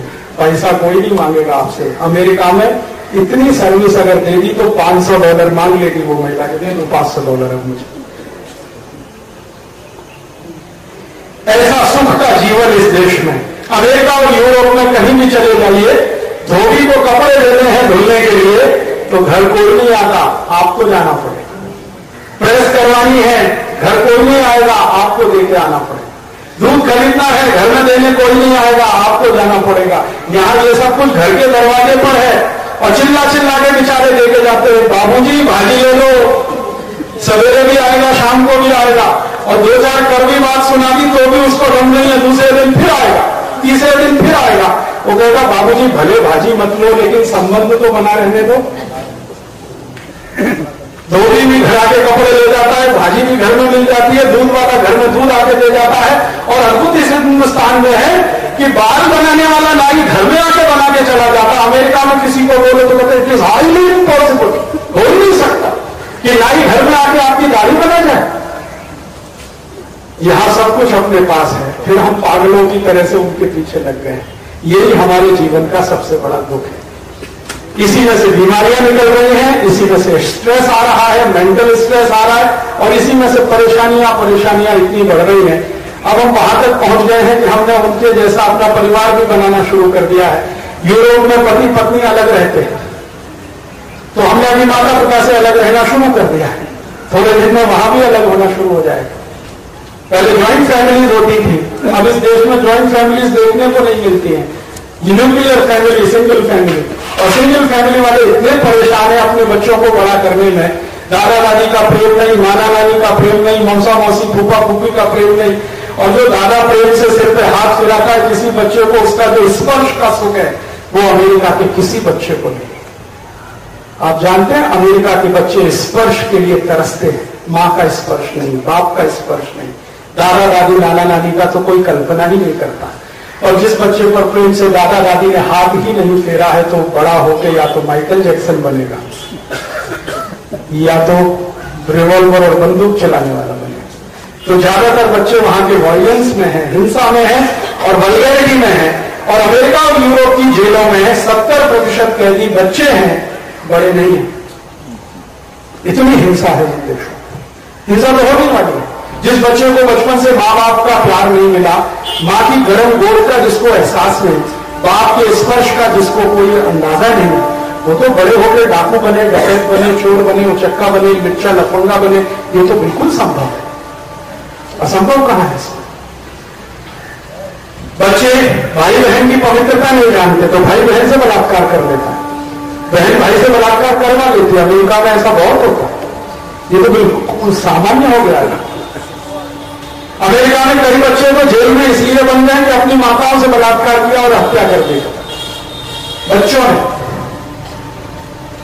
आपको सुनकर हैरानी होगी, अमेरिका एक ऐसा देश है जहाँ दुनिया में पर कैपिटा सबसे ज़्यादा पुलिस है। पर कैपिटा सबसे ज़्यादा पुलिस है। वहाँ हमारे भारत में दस हज़ार लोगों पर एक पुलिस है। दस हज़ार हिंदुस्तानियों पर एक पुलिस है। अमेरिका में हर सौ व्यक्ति पर एक पुलिस है। तो इसका माने भारत से कई गुना ज़्यादा पुलिस है। फिर भी अमेरिका में, दुनिया में सबसे ज़्यादा क्राइम है। सबसे ज़्यादा वॉयलेंस है। एक मिनट में सबसे ज़्यादा बलात्कार दुनिया में अमेरिका में ही होते हैं। एक मिनट में सबसे ज़्यादा छेड़खानी की घटना अमेरिका में होती है। एक मिनट में सबसे ज़्यादा हार्ट अटैक भी अमेरिका में ही आते हैं। और सबसे ज़्यादा बीमार लोगों का समाज वही अमेरिका है। अमेरिका की सड़कें बहुत चिकनी है, आपको मालूम है? इतनी चिकनी है कि सड़क पर गाड़ी चले तो पता नहीं चलता हम सड़क पर चल रहे हैं या हवा में हो रहे हैं। फिर भी सबसे ज़्यादा पीठ दर्द के मरीज़ अमेरिका में ही पर कैपिटा इतनी चिकनी सड़क पर गाड़ियाँ ही गाड़ियाँ दौड़ती हैं, फिर पीठ का दर्द क्यों होता है? हम हिंदुस्तानियों के देश में होना तो संभव है, क्योंकि यहाँ सड़क ही नहीं है, खड्डे ही खड्डे हैं। सड़क के बीच में, खड्डे खड्डे के बीच में, सड़क बार बार गाड़ी ऊपर नीचे होती है, हमको पीठ का दर्द हो तो समझ में आता है। वो इतनी चिकनी सड़क पर दौड़ने वाले फिर भी पीठ के दर्द के मरीज़ है। तो अब वहाँ के लोगों ने बोलना शुरू किया है डॉक्टरों ने कि भैया, हमारे देश में 90 परसेंट बीमारी साइकोसोमेटिक है। अब ये सत्य स्वीकार कर रहे हैं। साइकोसोमेटिक माने जीवन शैली में से उत्पन्न रोग। तो अब वो जीवन शैली बदले तो ठीक हो जीवन शैली बदल नहीं सकते, क्योंकि पर्यावरण और प्रकृति उनकी ऐसी है नहीं। तो वो तो बेचारे अभिशप्त हैं इसी में डूबने के लिए और मरने के लिए। मैं आपसे निवेदन करने आया हूँ कि आप इसके लिए अभिशप्त नहीं। अगर आप इस देश में रहते हैं, स्वस्थ रहना चाहते हैं, तंदुरुस्त रहना चाहते हैं, बिना दवा के जीवन शैली बदल दीजिए। अपनी ये अमेरिका और यूरोप वाली जो जीवन शैली है, हमारी सवेरे से लेकर शाम तक इसको बदल दीजिए। भारतीयता वाली जीवन शैली में आ जाइए। आपकी नब्बे प्रतिशत बीमारियाँ ऐसे ही चली जाएँगी। और दस प्रतिशत बीमारियाँ आपकी, जो आप भारतीयता के इन मूल्यों को स्वीकार कर लें कि जीवन सिर्फ़ अपने लिए नहीं है। अगर अपने लिए है तो वो पशु का जीवन है, परमार्थ के लिए यह जीवन है। तो बाकी दस प्रतिशत लोग इसी में से निकल जाएँगे। तो आप बोलेंगे, हमें क्या करना है? सवेरे से शाम तक आप एक लिस्ट बनाइए अपनी ज़िंदगी में और देखिए कि कहाँ कहाँ आप भारतीय हैं और कहाँ यूरोपीय हैं। जहाँ जहाँ आप यूरोपीय हैं, उसको बदल के भारतीय हो जाइए, आप हो जाएँगे डॉक्टर के पास जाना नहीं पड़ेगा। तो कहाँ से शुरू करें? सवेरे सोकर उठने से शुरू करें। सोकर जब आप उठते हैं तो भारतीय हैं या यूरोपीय हैं, देखिए। अगर आप सूर्योदय के पहले उठ रहे हैं तो आप भारतीय हैं। सूर्य निकलने के बाद उठे तो आप भारतीय नहीं है तो उठना सुबह जल्दी कर दीजिए। यहाँ से शुरू हो जाएगा जल्दी सुबह उठ जाइए। सूर्य निकलने से पहले तो ज़रूर उठ जाइए। ब्रह्म मुहूर्त इस देश में सबसे अच्छा माना जाता है, जो सुबह साढ़े तीन, पौने चार बजे शुरू हो जाता है। साढ़े तीन, पौने चार पर नहीं उठ सकते तो सूरज निकलने से दस, पंद्रह मिनट पहले उठ जाइए। इतना तो कर सकते और उसमें उठने के बाद आपका जो आसन है, प्राणायाम है, योग है, ध्यान है, समाधि है, जो करना है सब करिए, क्योंकि सुबह से अच्छा कोई समय नहीं ये भारत के शास्त्रों में, ऋषियों ने, मुनियों ने हज़ारों, लाखों साल के परीक्षण के बाद लिखा कि सुबह से अच्छा कोई समय नहीं है। तो सुबह के समय में सब अच्छे काम करिए। जितने अच्छे से अच्छे योग करना है, प्राणायाम करना है, ध्यान धरना है, समाधि में जाना है, जो करना है वो सुबह करिए। और ये सब करने के बाद अपना जीवन शुरू करिए। यहाँ से शुरू करिए। फिर आगे बढ़े थोड़ा। आप नाश्ता करने के लिए है, तैयार हो रहे हैं। स्नान सुबह ही कर लीजिए, क्योंकि भारतीय आयुर्वेद शास्त्र में सुबह का समय ही स्नान के लिए सर्वोत्तम है। तो स्नान सुबह ही कर लीजिए। और स्नान के लिए ध्यान रखिए, भागवत ऋषि का एक सूत्र है, भागवत तो बहुत महान व्यक्ति हुए। हम शायद कम लोग जानते हैं उनके बारे में, क्योंकि प्रचार कम हुआ उनके बारे में। चरक वो चरक और एक वो उन्हीं की कैटेगरी के थे भागवत। आयुर्वेद में भी तीन महान ऋषि माने जाते हैं, चरक, सुश्रुत और भागवत। वैसे तो और भी हुए। भाव प्रकाश थे, निघंटू थे, आदि आदि बहुत थे, लेकिन इन तीन को सर्वोत्तम माना जाता है। जैसे हम देवी देवताओं को मानते हैं ना, ब्रह्मा, विष्णु मनुष्य वैसे यह है चरक, सुश्रुत और भागवत। भागवत का सूत्र है, संस्कृत में है, मैं लंबा नहीं करना चाहता, सीधे शॉर्ट में बताता हूँ। कि स्नान करना है तो सुबह ही करिए और ठंडे पानी से करिए। गर्म पानी से कभी भी मत नहाइए। और चरण ने सॉरी भागवत ने ये कहा है कि ठंडे पानी से स्नान इसलिए करना है कि हमारी जो प्रकृति है और पर्यावरण वातावरण है, वो गर्म पानी के अनुकूल नहीं है नहाने में। गर्म पानी से नहाना सिर्फ़ उनके लिए है जो कोई गंभीर और बीमार है, रोग से पीड़ित। बहुत गंभीर कोई रोग है आपको। तो गर्म पानी से नहाने की छूट है। अन्यथा अगर आप स्वस्थ हैं और ज़िंदगी भर स्वस्थ रहना चाहते हैं तो ठंडे पानी से नहाइए। और जैसे आप ठंडे पानी से नहाएँगे तो शरीर खुद उसको बैलेंस कर लेता है। शरीर में जैसे ही ठंडक आएगी ना, उसको गर्म करने के लिए शरीर में हाइपोथैलेमस अपने आप सक्रिय हो है। और उसकी क्रिया अपने आप आपको थोड़ी देर में नॉर्मल कर देगी बैलेंस कर देगी। गंगा जी, में नहाते हैं। गर्म पानी से? अभी कुंभ चल रहा है ना, इलाहाबाद में, सब ठंडे पानी में डुबकी लगाते हैं। और सुना है कि वो सब बीमार हो जाते हैं। जो भी कुंभ नहाने जाते हैं, सब बुखार लेके आते हैं। मैंने तो ये सुना है कि बुखार लेके गए और कुंभ नहा के लौटे, वो ठीक हो गए। एक स्वामी शिवानंद थे।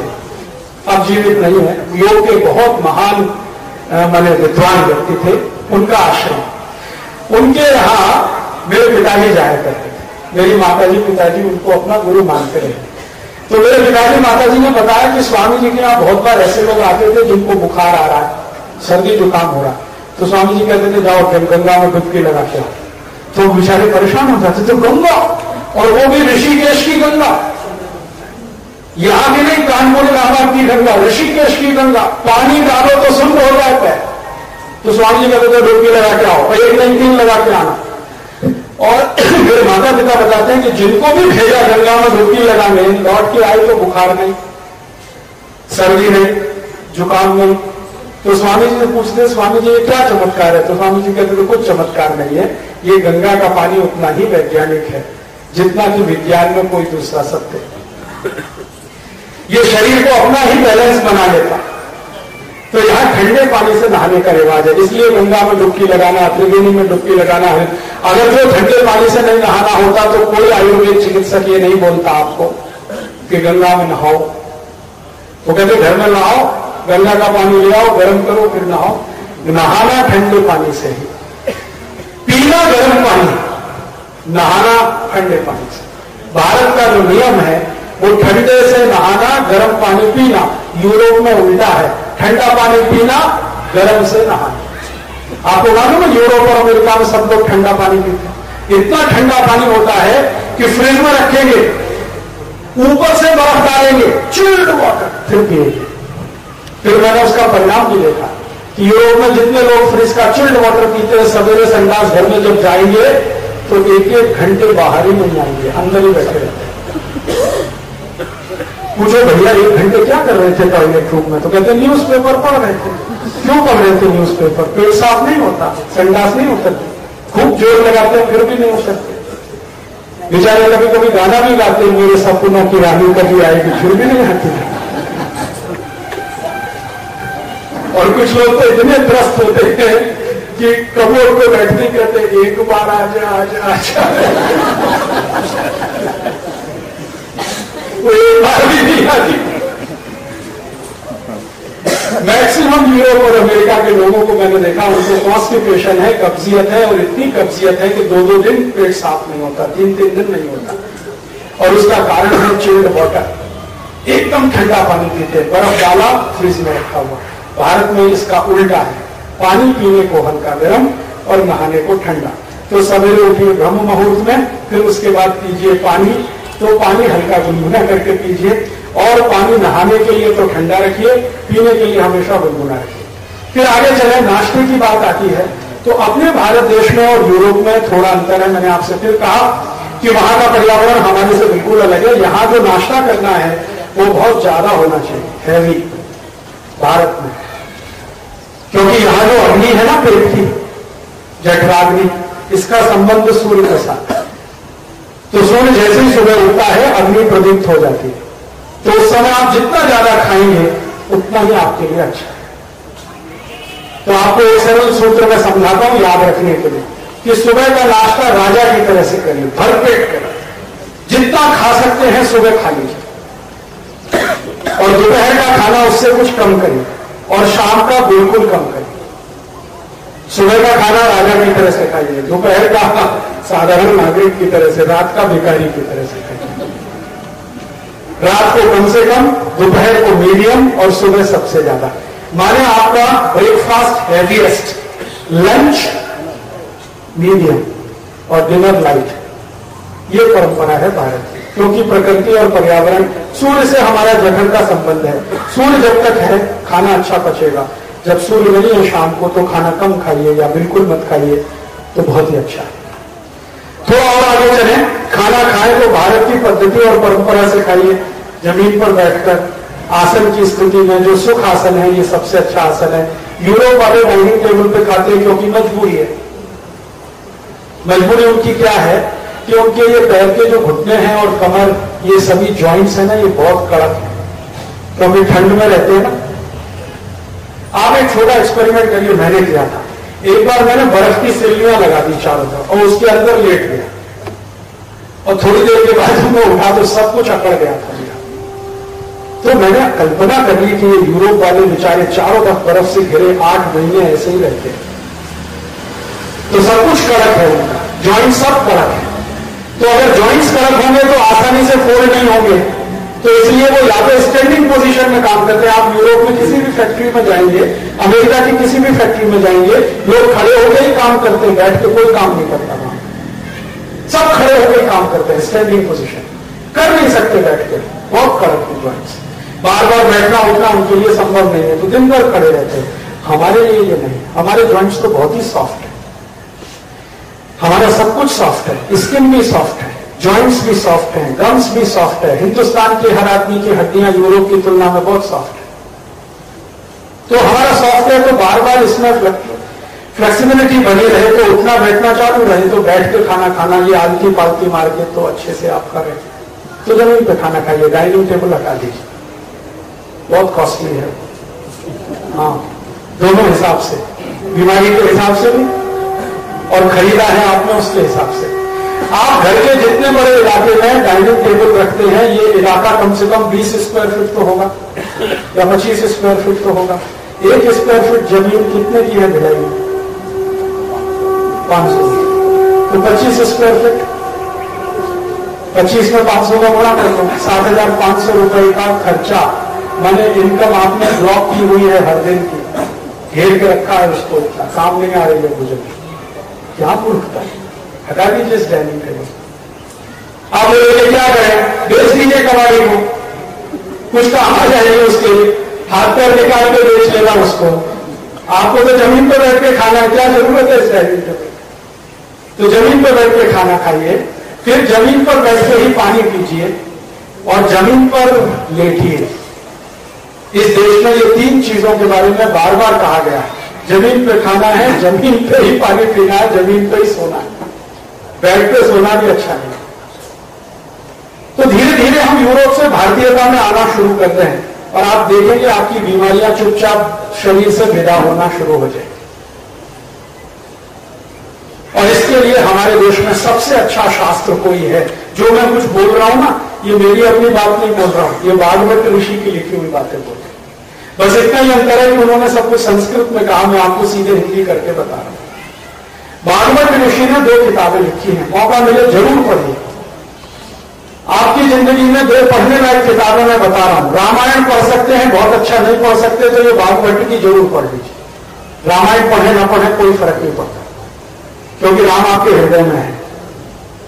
महाभारत पढ़े ना पढ़े कोई फ़र्क नहीं पड़ता। भागवत ऋषि की दो किताबें ज़रूर पढ़िए। एक का नाम है अष्टांग हृदय, और दूसरी है अष्टांग संग्रह अष्टांग हृदय और अष्टांग संग्रह मैंने मेरी ज़िंदगी में सैकड़ों किताबें पढ़ी हैं अलग अलग तरह की इंजीनियरिंग की पढ़ी है साइंस की फिजिक्स की बेसिक फिजिक्स की, लेकिन मेरी मान्यता है, जितनी अच्छी ये दो किताबें हैं, शायद दुनिया में कोई नहीं।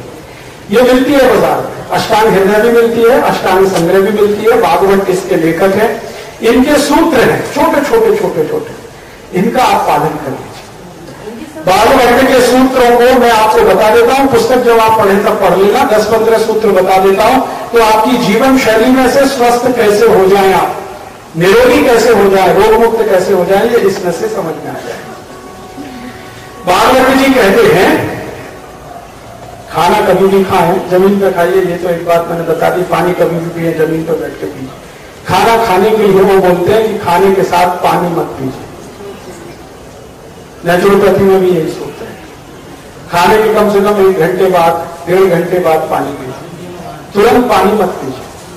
कोई बहुत इमरजेंसी हो तो उसके लिए सूत्र यह है कि एक धान्य से दूसरे धान्य के बीच में जो आप करते हैं ना ट्रांसफ़र ट्रांसफॉर्मेशन माने आप गेहूँ की रोटी खा रहे थे, ये एक धान्य है। अब आप चावल खाना शुरू कर रहे हैं, ये दूसरा धान्य तो दोनों के बीच के जंक्शन पर थोड़ा एक घूट पानी पी लीजिए बस। जैसे रोटी खाना पूरा हुआ, अब आप चावल खाना शुरू कर रहे हैं तो एक घूट पानी पी के फिर चावल खाना शुरू करिए। इतने की ही अनुमति है। और खाना खाना शुरू कर रहे हैं तो एक घूट पानी पी के शुरू करिए। ये एक दूसरी अनुमति है। ये गड़गड़ के टोला भर के पीना, ये बहुत खतरनाक मत कीजिए। और इसका कारण सीधा सीधा सा यह है कि आप जो कुछ भी खाते हैं, उसका पाचन होने के लिए अग्नि प्रदीप्त होती है। और अग्नि प्रदीप होगी और आप पानी पी लेंगे तो अग्नि शांत हो जाएगी। तो फिर खाने का पाचन नहीं होगा। तो खाना सड़ेगा। सड़ा हुआ खाना सैकड़ों रोग पैदा करेगा। खाना पचना चाहिए। इसके लिए आवश्यक है कि आप पानी एक डेढ़ घंटे बाद पिए। मैंने ये देखा है, जानवर जितने हैं ना प्रकृति में, ये सब बाघ भट्ट के चीले हैं। सब जानवर। गाय, भैंस, बकरी, बकरा, घोड़ा गदा कुत्ता, सब बाघ भट्ट के चीले मैंने किसी भी जानवर को खाने के साथ पानी पीते नहीं देखा। गाय सवेरे खाना खाएगी, भरपेट पानी दोपहर को पिए भैंस सवेरे खाना खाएगी, भरपेट पानी दोपहर को पिए बकरी सवेरे खाएगी, पानी दोपहर को पिएगी। चिड़िया, पक्षी, सब खाना सुबह खाएँगे, भरपेट पानी सब दोपहर को पिएँगे। मनुष्य एक ऐसा मूर्ख प्राणी है, जो खाने के साथ गटगट पिएगा और खाने के बाद तो लोटे पर लोटा पिएगा। बहुत खराब है। जब भैंस समझती है तो आप तो समझ जाइए। हमारे जानवरों में सबसे मूर्ख भैंस मानी जाती है उसको भी भागवत का सूत्र समझता है तो आप तो समझ लीजिए। आज से इस नियम को पालन करिए, और मैं आपको बहुत विनम्रता पूर्वक कह रहा हूँ कि आज से आप ये शुरू कर दीजिए।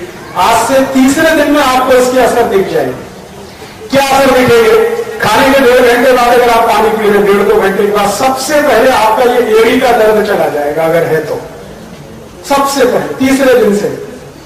चार पाँच दिन के बाद आपके ये घुटने के दर्द में कमी आ जाएगी। आठ दस दिन के बाद कमर का दर्द कम हो जाएगा। पंद्रह दिन के बाद एड़ी का दर्द और घुटने का दर्द चला ही जाए तो बहुत आश्चर्य मत करना आप इसे। तीन, चार दिन अगर आपने ये किया तो पेट में गैस बनना बंद। खट्टी लगा आना बंद। मुँह में पानी आना बंद।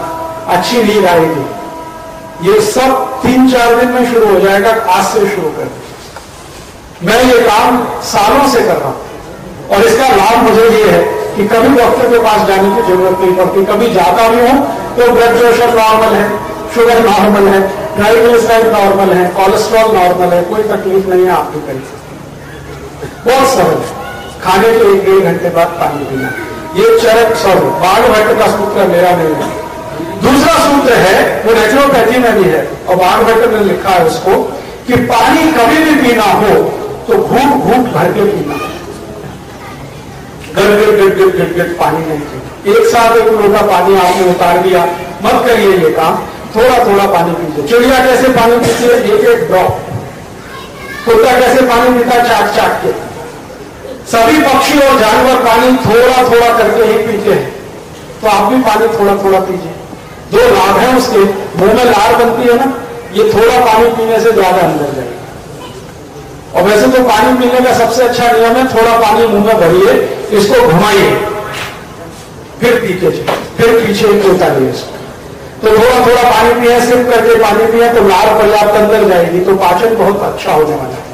और इस लार के बारे में सभी विज्ञान वाले, माने आयुर्विज्ञान वाले मानते हैं कि वाद वित्त कफ तीनों को संतुलन रखने में इसकी सबसे बड़ी भूमिका है। तो ये ज़्यादा अंदर जाएगी, वाद वित्त कफ संतुलन रहने वाला है तो बीमार नहीं पड़ेगी। और जो बीमारी है तो ठीक होना शुरू हो जाए। सिर्फ़ सिर्फ़ करके पानी तीसरा नियम है, पानी कभी भी पीजिए तो ठंडा मत पीजिए, वो मैं पहले ही बता चुका हल्का गर्म पानी पीजिए। आप बोलेंगे जी गर्मी है तो भी अच्छा है, हल्का गर्म पिए। नहीं तो घड़ी का पी सकते हैं, फ्रिज और बर्फ़ का तो बिल्कुल चौथा नियम है, सुबह उठे तो पानी से शुरुआत करिए अपने दिन की सुबह उठने पर पानी से दिन की शुरुआत करिए। चाय से नहीं, कॉफ़ी से नहीं बीड़ी से नहीं, सिगरेट से नहीं, तंबाकू से नहीं, पानी से शुरुआत करिए। उठते ही पानी पी लीजिए। पूषा पान कहा जाता है। कर सकें तो बहुत अच्छा है। दो तीन गिलास पानी पी लीजिए, सिप सिप करके पी लीजिए। तो बड़ी आंत एकदम साफ़ रहेगी आप और जिनकी बड़ी आंत साफ़ रहती है, छोटी आंत अपने आप साफ़ रहेगी। तो शरीर एकदम स्वस्थ रहने वाला आगे का मैंने पहले बता दिया, पानी हमेशा बैठ के पीजिए, खड़े होके मत पीजिए। खाना खाइए तो बैठ के खाइए, खड़े होके मत खाइए। खाना खाते समय चबा चबा के खाइए। जल्दी जल्दी मत खाइए। कम से कम उतनी बार चबाइए जितने आपके दांत हैं। तो आपको बत्तीस दांत है तो बत्तीस बार चबाइए। तीस है तो तीस बार चबाइए। अट्ठाईस है तो अट्ठाईस बार चबाइए। कोई कहेगा दांत ही नहीं है तो तो ऐसा खाना खाइए जिसको चबाना ना पड़े। जैसे खिचड़ी खाइए, हलवा खाइए बासुंदी खाइए, बासुंदी माने रबड़ी हाँ या तो दूध पीजिए, या तो दही खाइए, या तो मठा, या तो कुछ ऐसी चीज़ें जिसको चबाना ना पड़े, बिना दांत वाले लोग ऐसा करें दांत है तो चबाते खाइए और एक दो दिन आप गिरिए, चबाते समय, तीन चार दिन के बाद आदत ही पड़ जाएगी, अपने आप दिमाग गिरेगा, आपको करने की ज़रूरत नहीं पड़ेगी। फिर उसके आगे का एक छोटा सा नियम है कि खाना खाते समय यह नियम विशेष है। ये वास्तु से भी जुड़ा हुआ है। आयुर्वेद में भी। यह नियम है कि भोजन करते समय आपका मुँह अगर पूर्व की दिशा में है तो सबसे अच्छा सूर्य की दिशा। में सबसे अच्छा। नहीं तो बाकी तो ठीक है, मजबूरी में तो कुछ भी होता है। अच्छा तो यही है। फिर आगे का एक छोटा सा नियम है कि दोपहर को खाना खाया तो 20 मिनट के लिए विश्रांति लीजिए वाम कुक्षी वाम कुक्षी माने ये जो लेफ़्ट साइड है ना, इसमें लेट जाए 20 मिनट। और उस 20 मिनट में नींद ले ले तो बहुत ही अच्छा। रात का नियम है कि खाना खाइए तो दो घंटे तक मत सोइए, कम से कम। तीन घंटे नहीं सोए तो और भी अच्छा। दोपहर को खाते ही विश्रांति लेना है, रात को दो तीन घंटे तक सोना नहीं। फिर एक छोटा सा नियम है, अगर कर सके सब लोग, कि खाने के तुरंत बाद थोड़ी देर अगर शाम को वज्रासन में बैठे तो बहुत अच्छा। पहले दस ही मिनट बैठे, लेकिन बहुत अच्छा। दोपहर को भी बैठ सकते जो वाम नहीं कर सकते, उनको वज्रासन ज़रूर करना चाहिए, दोपहर को। फिर आगे का एक नियम है कि आप जब भी विश्रांति लें तो सिर आपका हमेशा पूर्व में या दक्षिण में रखिए। आइजर ईस्ट और साउथ नॉर्थ और वेस्ट में सिर करके कभी मत सोइए। नहीं तो नींद कभी भी अच्छी नहीं आएगी। इसका संबंध है पृथ्वी के गुरुत्वाकर्षण से। आपके ऊपर कम से कम बल लगे तो नींद अच्छी से अच्छी आती है। तो ईस्ट में ही यह संभव है और साउथ में यह संभव है। नॉर्थ में संभव नहीं है और वेस्ट में नहीं। अब मैं बचपन में याद करता हूँ कि मैंने बहुत सारे घरों में देखा किसी की मृत्यु हुई तो तुरंत उसका सिर उत्तर में करते हैं जीवित रहने पर उत्तर नहीं चलता, मरने के बाद ही उत्तर में किया जाता है। इसलिए उत्तर में सिर करके कभी मत सोइए, मृत्यु की दिशा, माने जल्दी मृत्यु आएगी दीर्घ जीवन जीना है तो ईस्ट में और साउथ में। और एक बहुत अच्छा सूत्र है भागवत का, संस्कृत में है, सीधे हिंदी बताता हूँ। भागवत जी कहते हैं कि ऐसे भोजन को कभी मत खाइए जिस पर सूर्य के प्रकाश का और पवन का स्पर्श ना हुआ हो। सूर्य का प्रकाश, पवन का स्पर्श जिस भोजन को नहीं हुआ, वो कभी मत खाइए।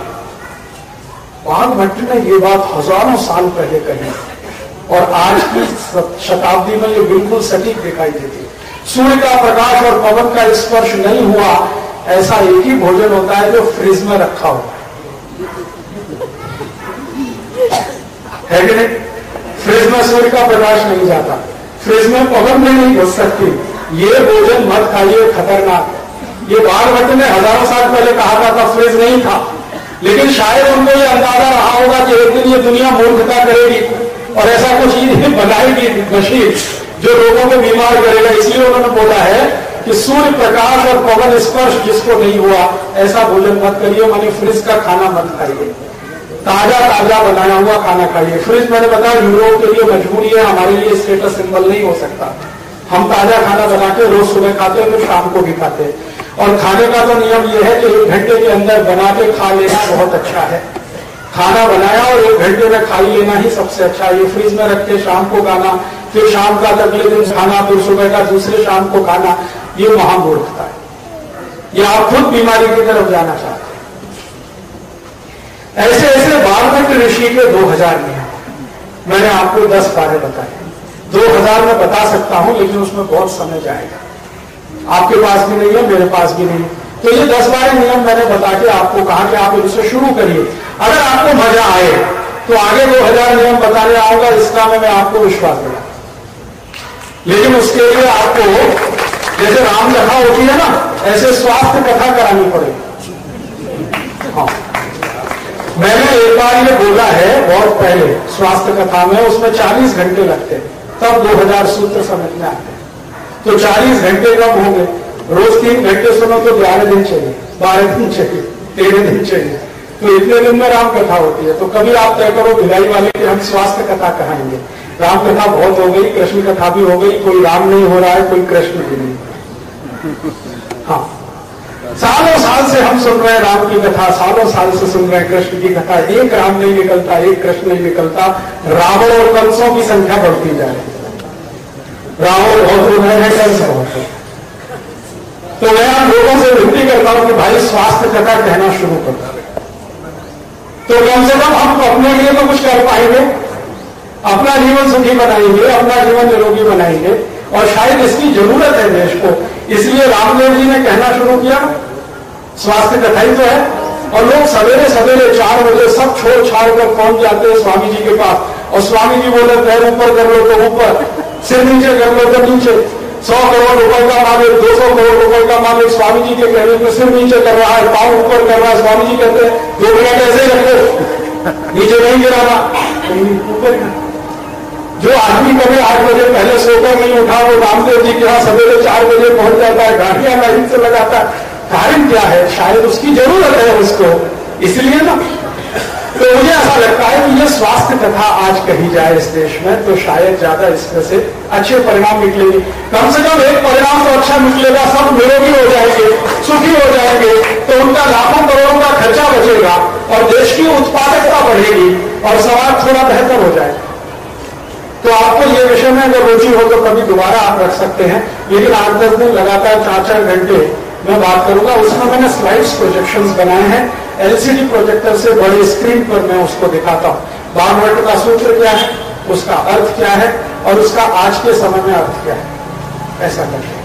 तो खैर, कभी भविष्य की बात है, लेकिन आज जो दस बारे बताया, ये आप ध्यान रखिए। इतने से शुरू करिए, बहुत लाभ हो जाएगा। अभी आखिरी हिस्सा, मेरे व्याख्यान का, कि आपके अपने घर में जो कुछ भी है, वो सब औषधि है, इसका ध्यान रखिए भारत में ऐसी कोई चीज़ नहीं है जिसका औषधीय गुण नहीं। भारत में ऐसी कोई चीज़ नहीं है जिसका औषधीय गुण नहीं है। आप जिस घास पर पैर रख के बैठे इस घास का भी औषधीय गुण है। हर चीज़ का औषधीय गुण है, क्योंकि इस देश पर सूरज की बहुत मेहरबानी है। सूर्य का प्रकाश भरपूर है, इसलिए जो कुछ उगता है सूर्य के प्रकाश से कुछ ना कुछ विशेषता लिए हुए रहता है। तो अगर आप इसको समझ लें तो चिकित्सा आप खुद कर सकते हैं। वैसे आयुर्वेद में यह कहा गया है कि खान पान और पथ्य अपथ्य, ये दो महत्व के हैं। औषधि तीसरे नंबर पर है। टोटल परसेंटेज में बात करें तो 12 परसेंट से ज़्यादा औषधि का महत्व नहीं है। बाकी अट्ठासी परसेंट जो महत्व है वो खाने पीने का, कैसे खाना, कब खाना, कब नहीं खाना, कितना खाना, कितना नहीं खाना, किसके साथ क्या खाना, किसके साथ क्या नहीं खाना विरुद्ध आहार की जो बात है ना, ये 88 परसेंट है, आयुर्वेद में। सिर्फ़ बारह प्रतिशत औषधि है। अभी उल्टा हो गया। हम औषधि पे ज़्यादा फंस गए। बाकी चीज़ें हमने गौर कर तो मैं आपसे कह रहा हूँ कि औषधि को महत्व है, लेकिन बहुत नहीं है। इसका ध्यान रखिए। ज़्यादा महत्व है खान पान का, जो मैंने छोटी छोटी कुछ बातें आपको बताई। और क्या खाना, क्या नहीं खाना, किसके साथ खाना, किसके साथ नहीं खाना विरुद्ध आहार जो है ना, ये बहुत महत्व का है। दूध और दही साथ में नहीं खाना। बहुत ज़रूरी घी और शहद साथ में नहीं खाना, नहीं तो तकलीफ़ आएगी। कभी भी उड़द की दाल और दही साथ में नहीं खाना, एक दूसरे के विपरीत। जो उड़द की दाल और दही खाएँ तो तैयार रहिए ब्लड प्रेशर भी बढ़ेगा हार्ट अटैक भी आएगा। मैंने ये एक्सपेरिमेंट खुद मेरे ऊपर किया। उड़द की दाल के वो बड़े बनाते ना, दही बड़े, ये सबसे खतरनाक। हाँ। दही बड़े बनाने हो तो मूंग की दाल के बनाइए, उड़द की दाल के नहीं। उड़द की दाल दही कभी भी साथ में नहीं। आयुर्वेद ने इसको बहुत निषिद्ध बोला। मूंग की दाल दही खा सकते हैं, अरहर की दाल दही खा सकते हैं, मसूर की दाल दही नहीं चलता है। उड़द की दाल के साथ दही बिल्कुल नहीं चलता। और ये बात मैंने एक ऐसे वैद्य के मुँह से सुनी जो लगभग साठ साल से आयुर्वेद चिकित्सा करते हैं, जयपुर में रहते हैं। तो मैंने विश्वास नहीं किया तो फिर उन्होंने पढ़ा दिया मुझे शास्त्र में। तो फिर भी मुझे कम विश्वास हुआ तो उनका, चलो, अभी तुम्हारे ऊपर परीक्षण करता। तो उन्होंने मेरा ब्लड प्रेशर चेक किया नोट कर लिया। फिर उन्होंने मुझे बड़े खिला दिए उड़द की दाल और दही के बड़े खिलाए खाते ही फिर ब्लड प्रेशर चेक किया, मेरा ब्लड प्रेशर हाई था। तब मुझे भरोसा हो और उस दिन से मैंने सबको बोलना शुरू और जो ये रोज खा रहे थे उन्होंने बंद किया तो वो खुद महसूस करते हैं कि पहले से भी अच्छा लगता है। तो उड़द की दाल दही मत खाइए शहद मानी घी साथ में मत खाइए, दूध और दही कभी साथ में मत खाइए। खीर बनाई है तो मट्ठा मत पीजिए मट्ठा पिया तो खीर मत खाइए, दही खाया है तो कभी खीर मत खाइए, खीर खाइए तो ये तो सब आप समझते हैं। तो विरुद्ध आहार कभी भी साथ में मत करिए इसी विरुद्ध आहार की आगे की एक श्रेणी है माताओं, बहनों को विशेष रूप से कह रहा हूँ मिक्स वेजिटेबल कभी मत खाइए। एक बार में एक ही सब्ज़ी खाइए। एक बार में एक ही सब्ज़ी खाइए। लौकी की सब्ज़ी है तो लौकी की ही खाइए, उसमें आलू मत मिलाइए। ये हर चीज़ में आलू मिलाना ये यूरोप वालों की मजबूरी है, क्योंकि उनके पास आलू के अलावा कुछ नहीं है। हर चीज़ में आलू आलू आलू, आप मत करिए ये धंधा। बिना आलू के सब्ज़ियाँ बनती है, बहुत स्वादिष्ट बनती है।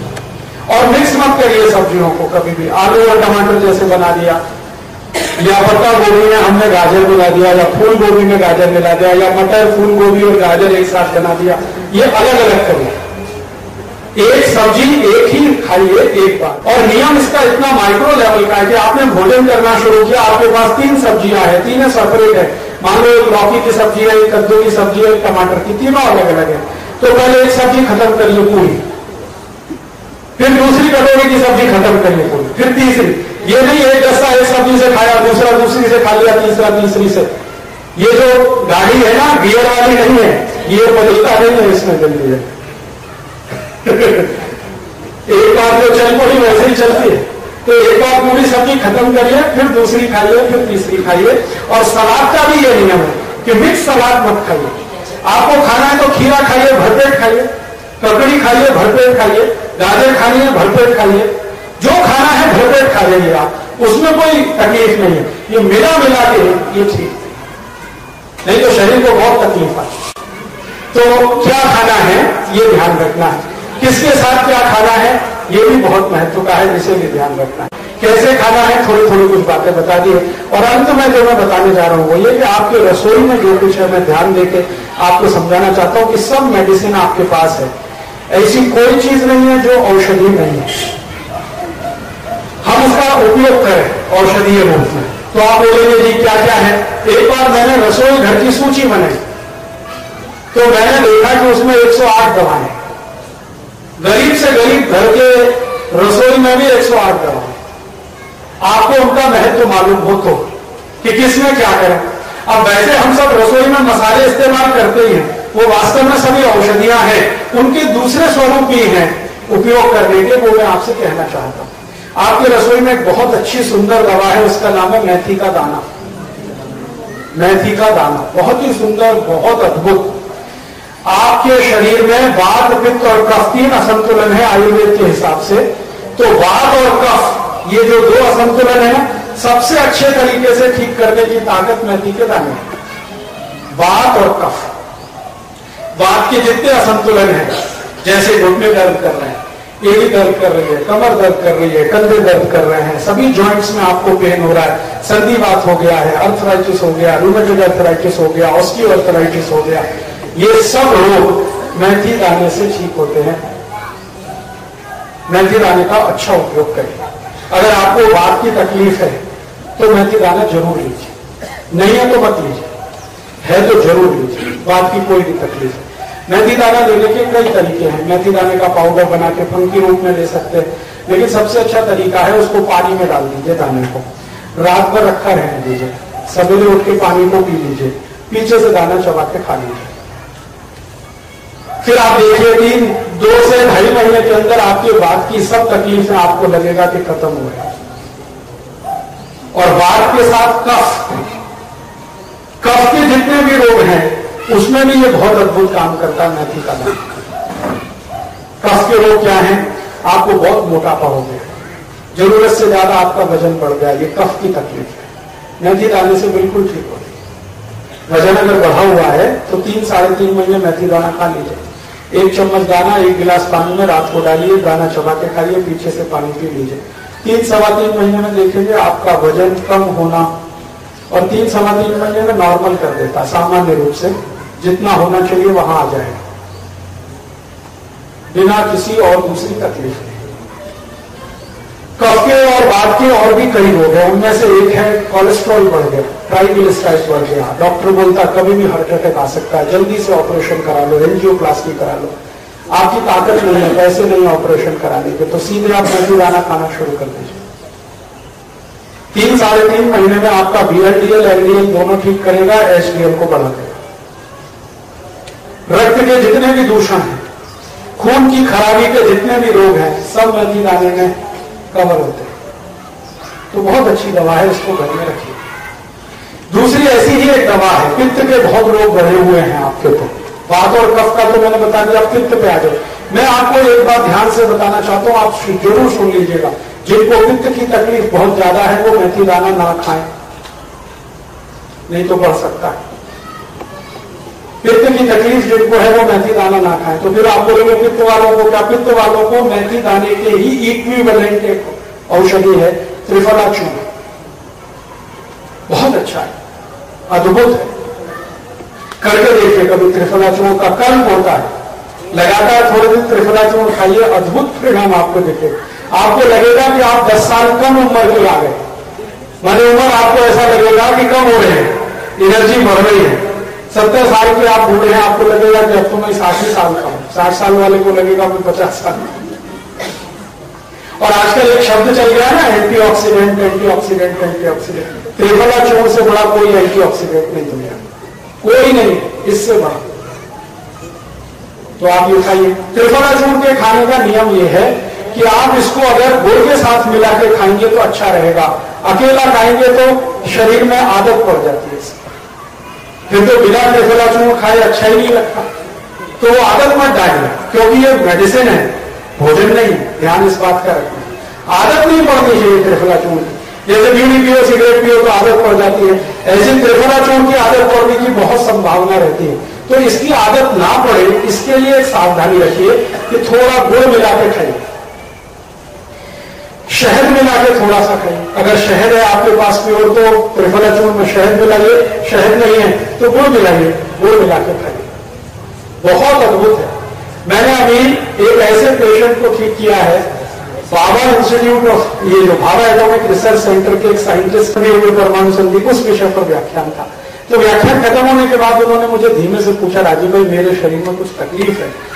मैंने पूछा, क्या तो वो अंदर ले गए? शर्ट उतारा, पैंट उतारा तो मैंने देखा जगह जगह घाव थे खून टपकता था उसमें से। कब से है? तो उनका बहुत समय हो गया, बहुत इलाज किया, ठीक ही नहीं हो रहा है, क्या करूँ, क्या नहीं करूँ? तो मैंने उनसे कहा, ये ठीक तो हो जाए। तो उनको लगा कि मैं उनको झूठ बोल रहा हूँ, या ऐसे ही उल्लू बना रहा हूँ। तो उनका, देखिए, मुझे झूठ बोलने की ज़रूरत नहीं, मैं साइंटिस्ट हूँ। आप अगर बता दो कि ये नहीं होने वाला तो भी मुझे कोई गम नहीं। मैंने कहा, मैं आपसे गंभीरता से कह रहा हूँ विनम्रता पूर्वक कह रहा हूँ कि ये ठीक हो जाएगा। क्या करूँ? मैंने कहा, आप सिर्फ़ त्रिफला चूर्ण खाओ और कुछ नहीं खाओ शहद में मिला के खाओ। तो दो चम्मच त्रिफला चूर्ण उन्होंने शुरू किया? एक चम्मच शहद, दो चम्मच त्रिफला चूर्ण सवेरे सवेरे चाटते थे। आज उनको करीब साढ़े छह, सात महीना हुआ है। वो सब घाव उनके भर गए। रेडिएशन से हुए घाव भर गए। त्रिफला चूर्ण की ये ताकत है। अब मैंने त्रिफला चूर्ण पर ये जो काम हुआ ना, इसको भेजा है दुनिया की सबसे प्रतिष्ठित पत्रिका है लैंडसेट उसमें भेजा है छपने के लिए कि त्रिफला चूर्ण की ये ताकत है। तो उनका चिट्ठी आगवाए कि हम आपका ये लेख छापने वाले हैं। थोड़े दिन में छपेगा, लंदन से निकलती है लैंडसेट और डॉक्टर जितने हैं दुनिया के, चिकित्सा वर्ल्ड की, जगत की ये सबसे प्रतिष्ठित पत्रिका है। उसमें त्रिफला चूर्ण पर छपेगा कि ये असर है। रेडिएशन का कोई भी मरीज़ किसी भी दवा से ठीक होता नहीं है, वो त्रिफला चूर्ण ने ठीक किया। ऐसी ताकत है त्रिफला चूर्ण तो आप रखिए अपने घर में इसका उपयोग करें। ऐसे एक तीसरी, जी। पानी पीना चाहिए हल्का गुनगुना पानी पीना चाहिए। आपके मुँह का जितना टेम्परेचर है, उतना गर्म पानी। ठंडा भी नहीं, बहुत गर्म भी नहीं। मुँह का टेम्परेचर आप देखोगे तो सैंतीस, अड़तीस डिग्री सेंटीग्रेड के आसपास है।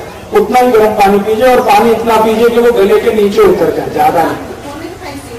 नहीं जी सवेरे खाएँगे आप तो इसका असर बहुत बढ़िया है।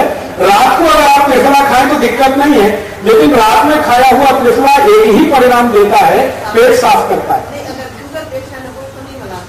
क्या गुड़ मिलाइए ना मेरी गारंटी को। हाँ शुगर वाले को। शुगर वाले को गुड़ मिला के खाइए शक्कर नहीं।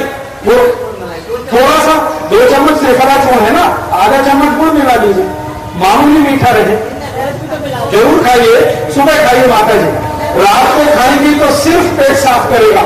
सुबह खाएँगे तो इसके औषधीय गुण बहुत ज़्यादा है। सुबह खाने मेरा प्रश्न है जी। ये जो प्रकृति है और अली इसके कोई सिंपल सिम्टम्स क्या बहुत अच्छा। देखिए बाबूजी का एक प्रश्न है वो सबका होना चाहिए। इनका प्रश्न है कि हम अपनी प्रकृति को कैसे पहचाने? हमारी बात प्रकृति है हमारी कफ प्रकृति है, हमारी पित्त प्रकृति है, हम इसको कैसे पहचाने? तो इसके लिए सरल सरल सूत्र सिम्टम्स वाले लिख दिए हैं। उसकी एक किताब छपा दिया है। वो किताब यहाँ है, आप ले जाइए। उसको आराम से कभी भी बैठ के ध्यान से पढ़िए और दूसरों को भी पढ़िए मैं थोड़ा आगे बढ़ता हूँ। रसोई में एक अद्भुत चीज़ और है आपके पास। ये किताब का नाम है स्वावलंबी चिकित्सा। उसमें सारे सिम्टम्स हैं। और एक है अहिंसक चिकित्सा, उसमें भी। ये तीसरी एक ऐसी औषधि आपके घर में है, जिसको आप ज़रूर इस्तेमाल करिए। मैंने उसके बहुत अच्छे परिणाम देखे हैं। चूना। चूना चूना। वो पान में लगा के खाते हैं चूना। कई कई रोग में मैंने इसके परिणाम देखे छोटे बच्चों से लेकर बड़ों तक। मेरे पास अक्सर बहुत सारे लोग आते हैं चिकित्सा के लिए, परामर्श लेने के लिए। मैं निःशुल्क चिकित्सा करता हूँ। निःशुल्क परामर्श देता हूँ। क्योंकि मैंने इसको व्यवसाय नहीं बनाया, मेरे स्वाम सुखा ये करता हूँ। तो छोटे छोटे बच्चों के बहुत सारे प्रश्न मेरे पास आते हैं। बच्चे हैं, लंबाई नहीं बढ़ती, हम बहुत अच्छा खाना खिलाते हैं, ताकत नहीं आती, वज़न नहीं बढ़ता, इनकी बुद्धि कम है, स्मरण शक्ति कम है, जल्दी भूल जाते हैं, कुछ याद नहीं रहता है, ऐसे बहुत सारे प्रश्न आते हैं। मैं सब माताओं को एक ही बात बोलता हूँ, इन बच्चों को चूना खिलाओ। चूना। कैसे खिलाएँ? दही में मिला के खिला दो, मट्ठे में मिला के पिला दो, कितना? एक गिलास अगर मट्ठा है तो एक ग्राम चूना बहुत मामूली सा, एक ग्राम इतना ही होता है। तो एक गिलास दही का मट्ठा, एक ग्राम चूना दही सौ ग्राम ले लो, एक ग्राम चूना और सबसे अच्छा है गन्ने का रस। गन्ने के रस में मिला के पिला दो चूना गन्ने का रस थोड़े दिन मिलेगा, तीन चार महीने तो संतरे के रस में पिलाओ मौसमी के रस में पिलाओ, अनन्नास के रस में पिलाओ चूना खिलाओ छोटे बच्चे। रोज सुबह सुबह खाली छोटे बारह महीने में चूना हमेशा मिलता है। चूना हमेशा मिलता है। हाँ। बता दो अभी इनका प्रश्न बहुत स्पेसिफिक है। चूने को हम दो तरीके से खा सकते हैं। आप चूना ले आओ बाज़ार से जो पान की दुकान में मिलता है। इसको मिट्टी के घड़े में डाल दो, ऊपर से पानी डाल दो। थोड़ी देर में क्या होगा कि ये चूना नीचे बैठ जाएगा, पानी ऊपर आ जाएगा। तो ये जो ऊपर का पानी है ये चूने से भी ज़्यादा कीमती है। पानी चूने का पानी। इसका असर चूने से भी ज़्यादा आता है। तो अगर आप ये पानी पिलाते हैं तो ये सबसे अच्छा है। नहीं तो चूना पिला दो। हाँ। अगर आप चूना लाए हैं तो इसमें अनुपात एक और दस का रखिए। सौ ग्राम अगर चूना है तो एक लीटर पानी डाल के छोड़ दीजिए। सौ ग्राम हाँ। डेढ़ सौ ग्राम तक एक लीटर छोड़ सकते बहुत मैक्सिमम दो सौ ग्राम। तो पानी डाल छोड़ दीजिए। थोड़ी देर में देखेंगे आप, एक दिन बाद, डेढ़ दिन बाद कि पानी अपने आप कम हो गया। तो जब पानी कम हो गया तो ऊपर थोड़ा सा पानी रह जाता है। वो ले लेना एक चम्मच। और वो एक चम्मच मिला देना सौ ग्राम दही में, या एक गिलास मट्टे में, या एक गिलास रस में। गन्ने का रस, संतरे का रस मौसमी का रस ये पीने का। और इससे आप देखेंगे कि बच्चों को भूख खुल के लगेगी, लंबाई बढ़ने लगेगी, हड्डियाँ मज़बूत हो जाएँगी जो आपको लगता है कि मस्तिष्क की शक्ति उनकी कम है, ब्रेन माने मति मंदता है, वो ठीक हो जाएगी। बहुत बहुत अद्भुत परिणाम है। मैंने अभी एक बच्चे पर इसका परिणाम देखा है सेरिब्रल फॉल्सी एक डिसीज है, जिसके बारे में एलोपैथी के डॉक्टर कहते हैं कि ये कभी ठीक नहीं होती। मेरे पास एक बच्चा है, आठ साल का, जिसको सेरिब्रल फॉल्सी है, मैसूर का है। मैं उसको लगभग नौ महीने से चूने का पानी पिलवा रहा उसका कम से कम 60 परसेंट इंप्रूवमेंट उसमें है। तो जो डॉक्टर बोलते थे कि ये इम्पॉसिबल है वो खुद अभी चमत्कार मानते हैं। इसको तो वो चमत्कार मेरा नहीं है चूने का। अभी एक और दूसरा उपयोग इसका है। अगर किसी को पीलिया हो गया आपके घर में जॉन्डिस हो गया तो चूने का पानी पिलाइए उसको। वो एक ही कंडीशन में या तो मट्टे में नहीं तो गन्ने के रस में।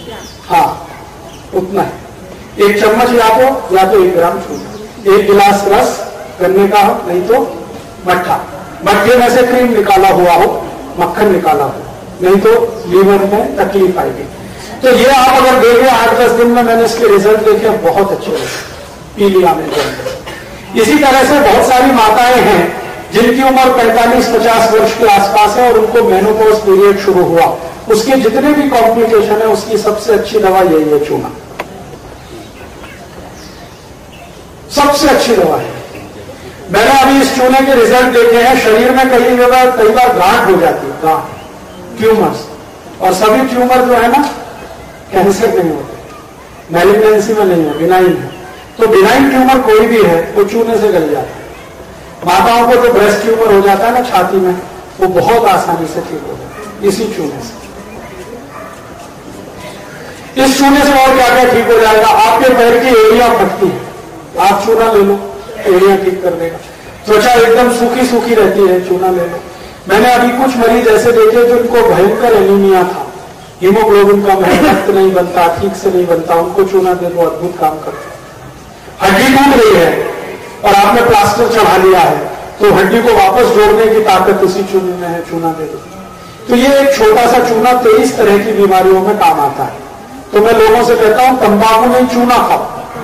सादे पानी में सादे पानी में रख। लो पान के साथ चूना खाओ कत्था मत लगाओ। पान के साथ चूना खाओ या खाली चूना खाओ तंबाकू मत खाओ। अभी दवा है कोई? कत्था दवा है लेकिन सबके लिए नहीं। है ये जो जर्नल है ना जर्नल पब्लिक के लिए चूना तो है पान तो है कत्था नहीं है। कत्था स्पेसिफिक है। थोड़ा और आगे बढ़े अपने घर में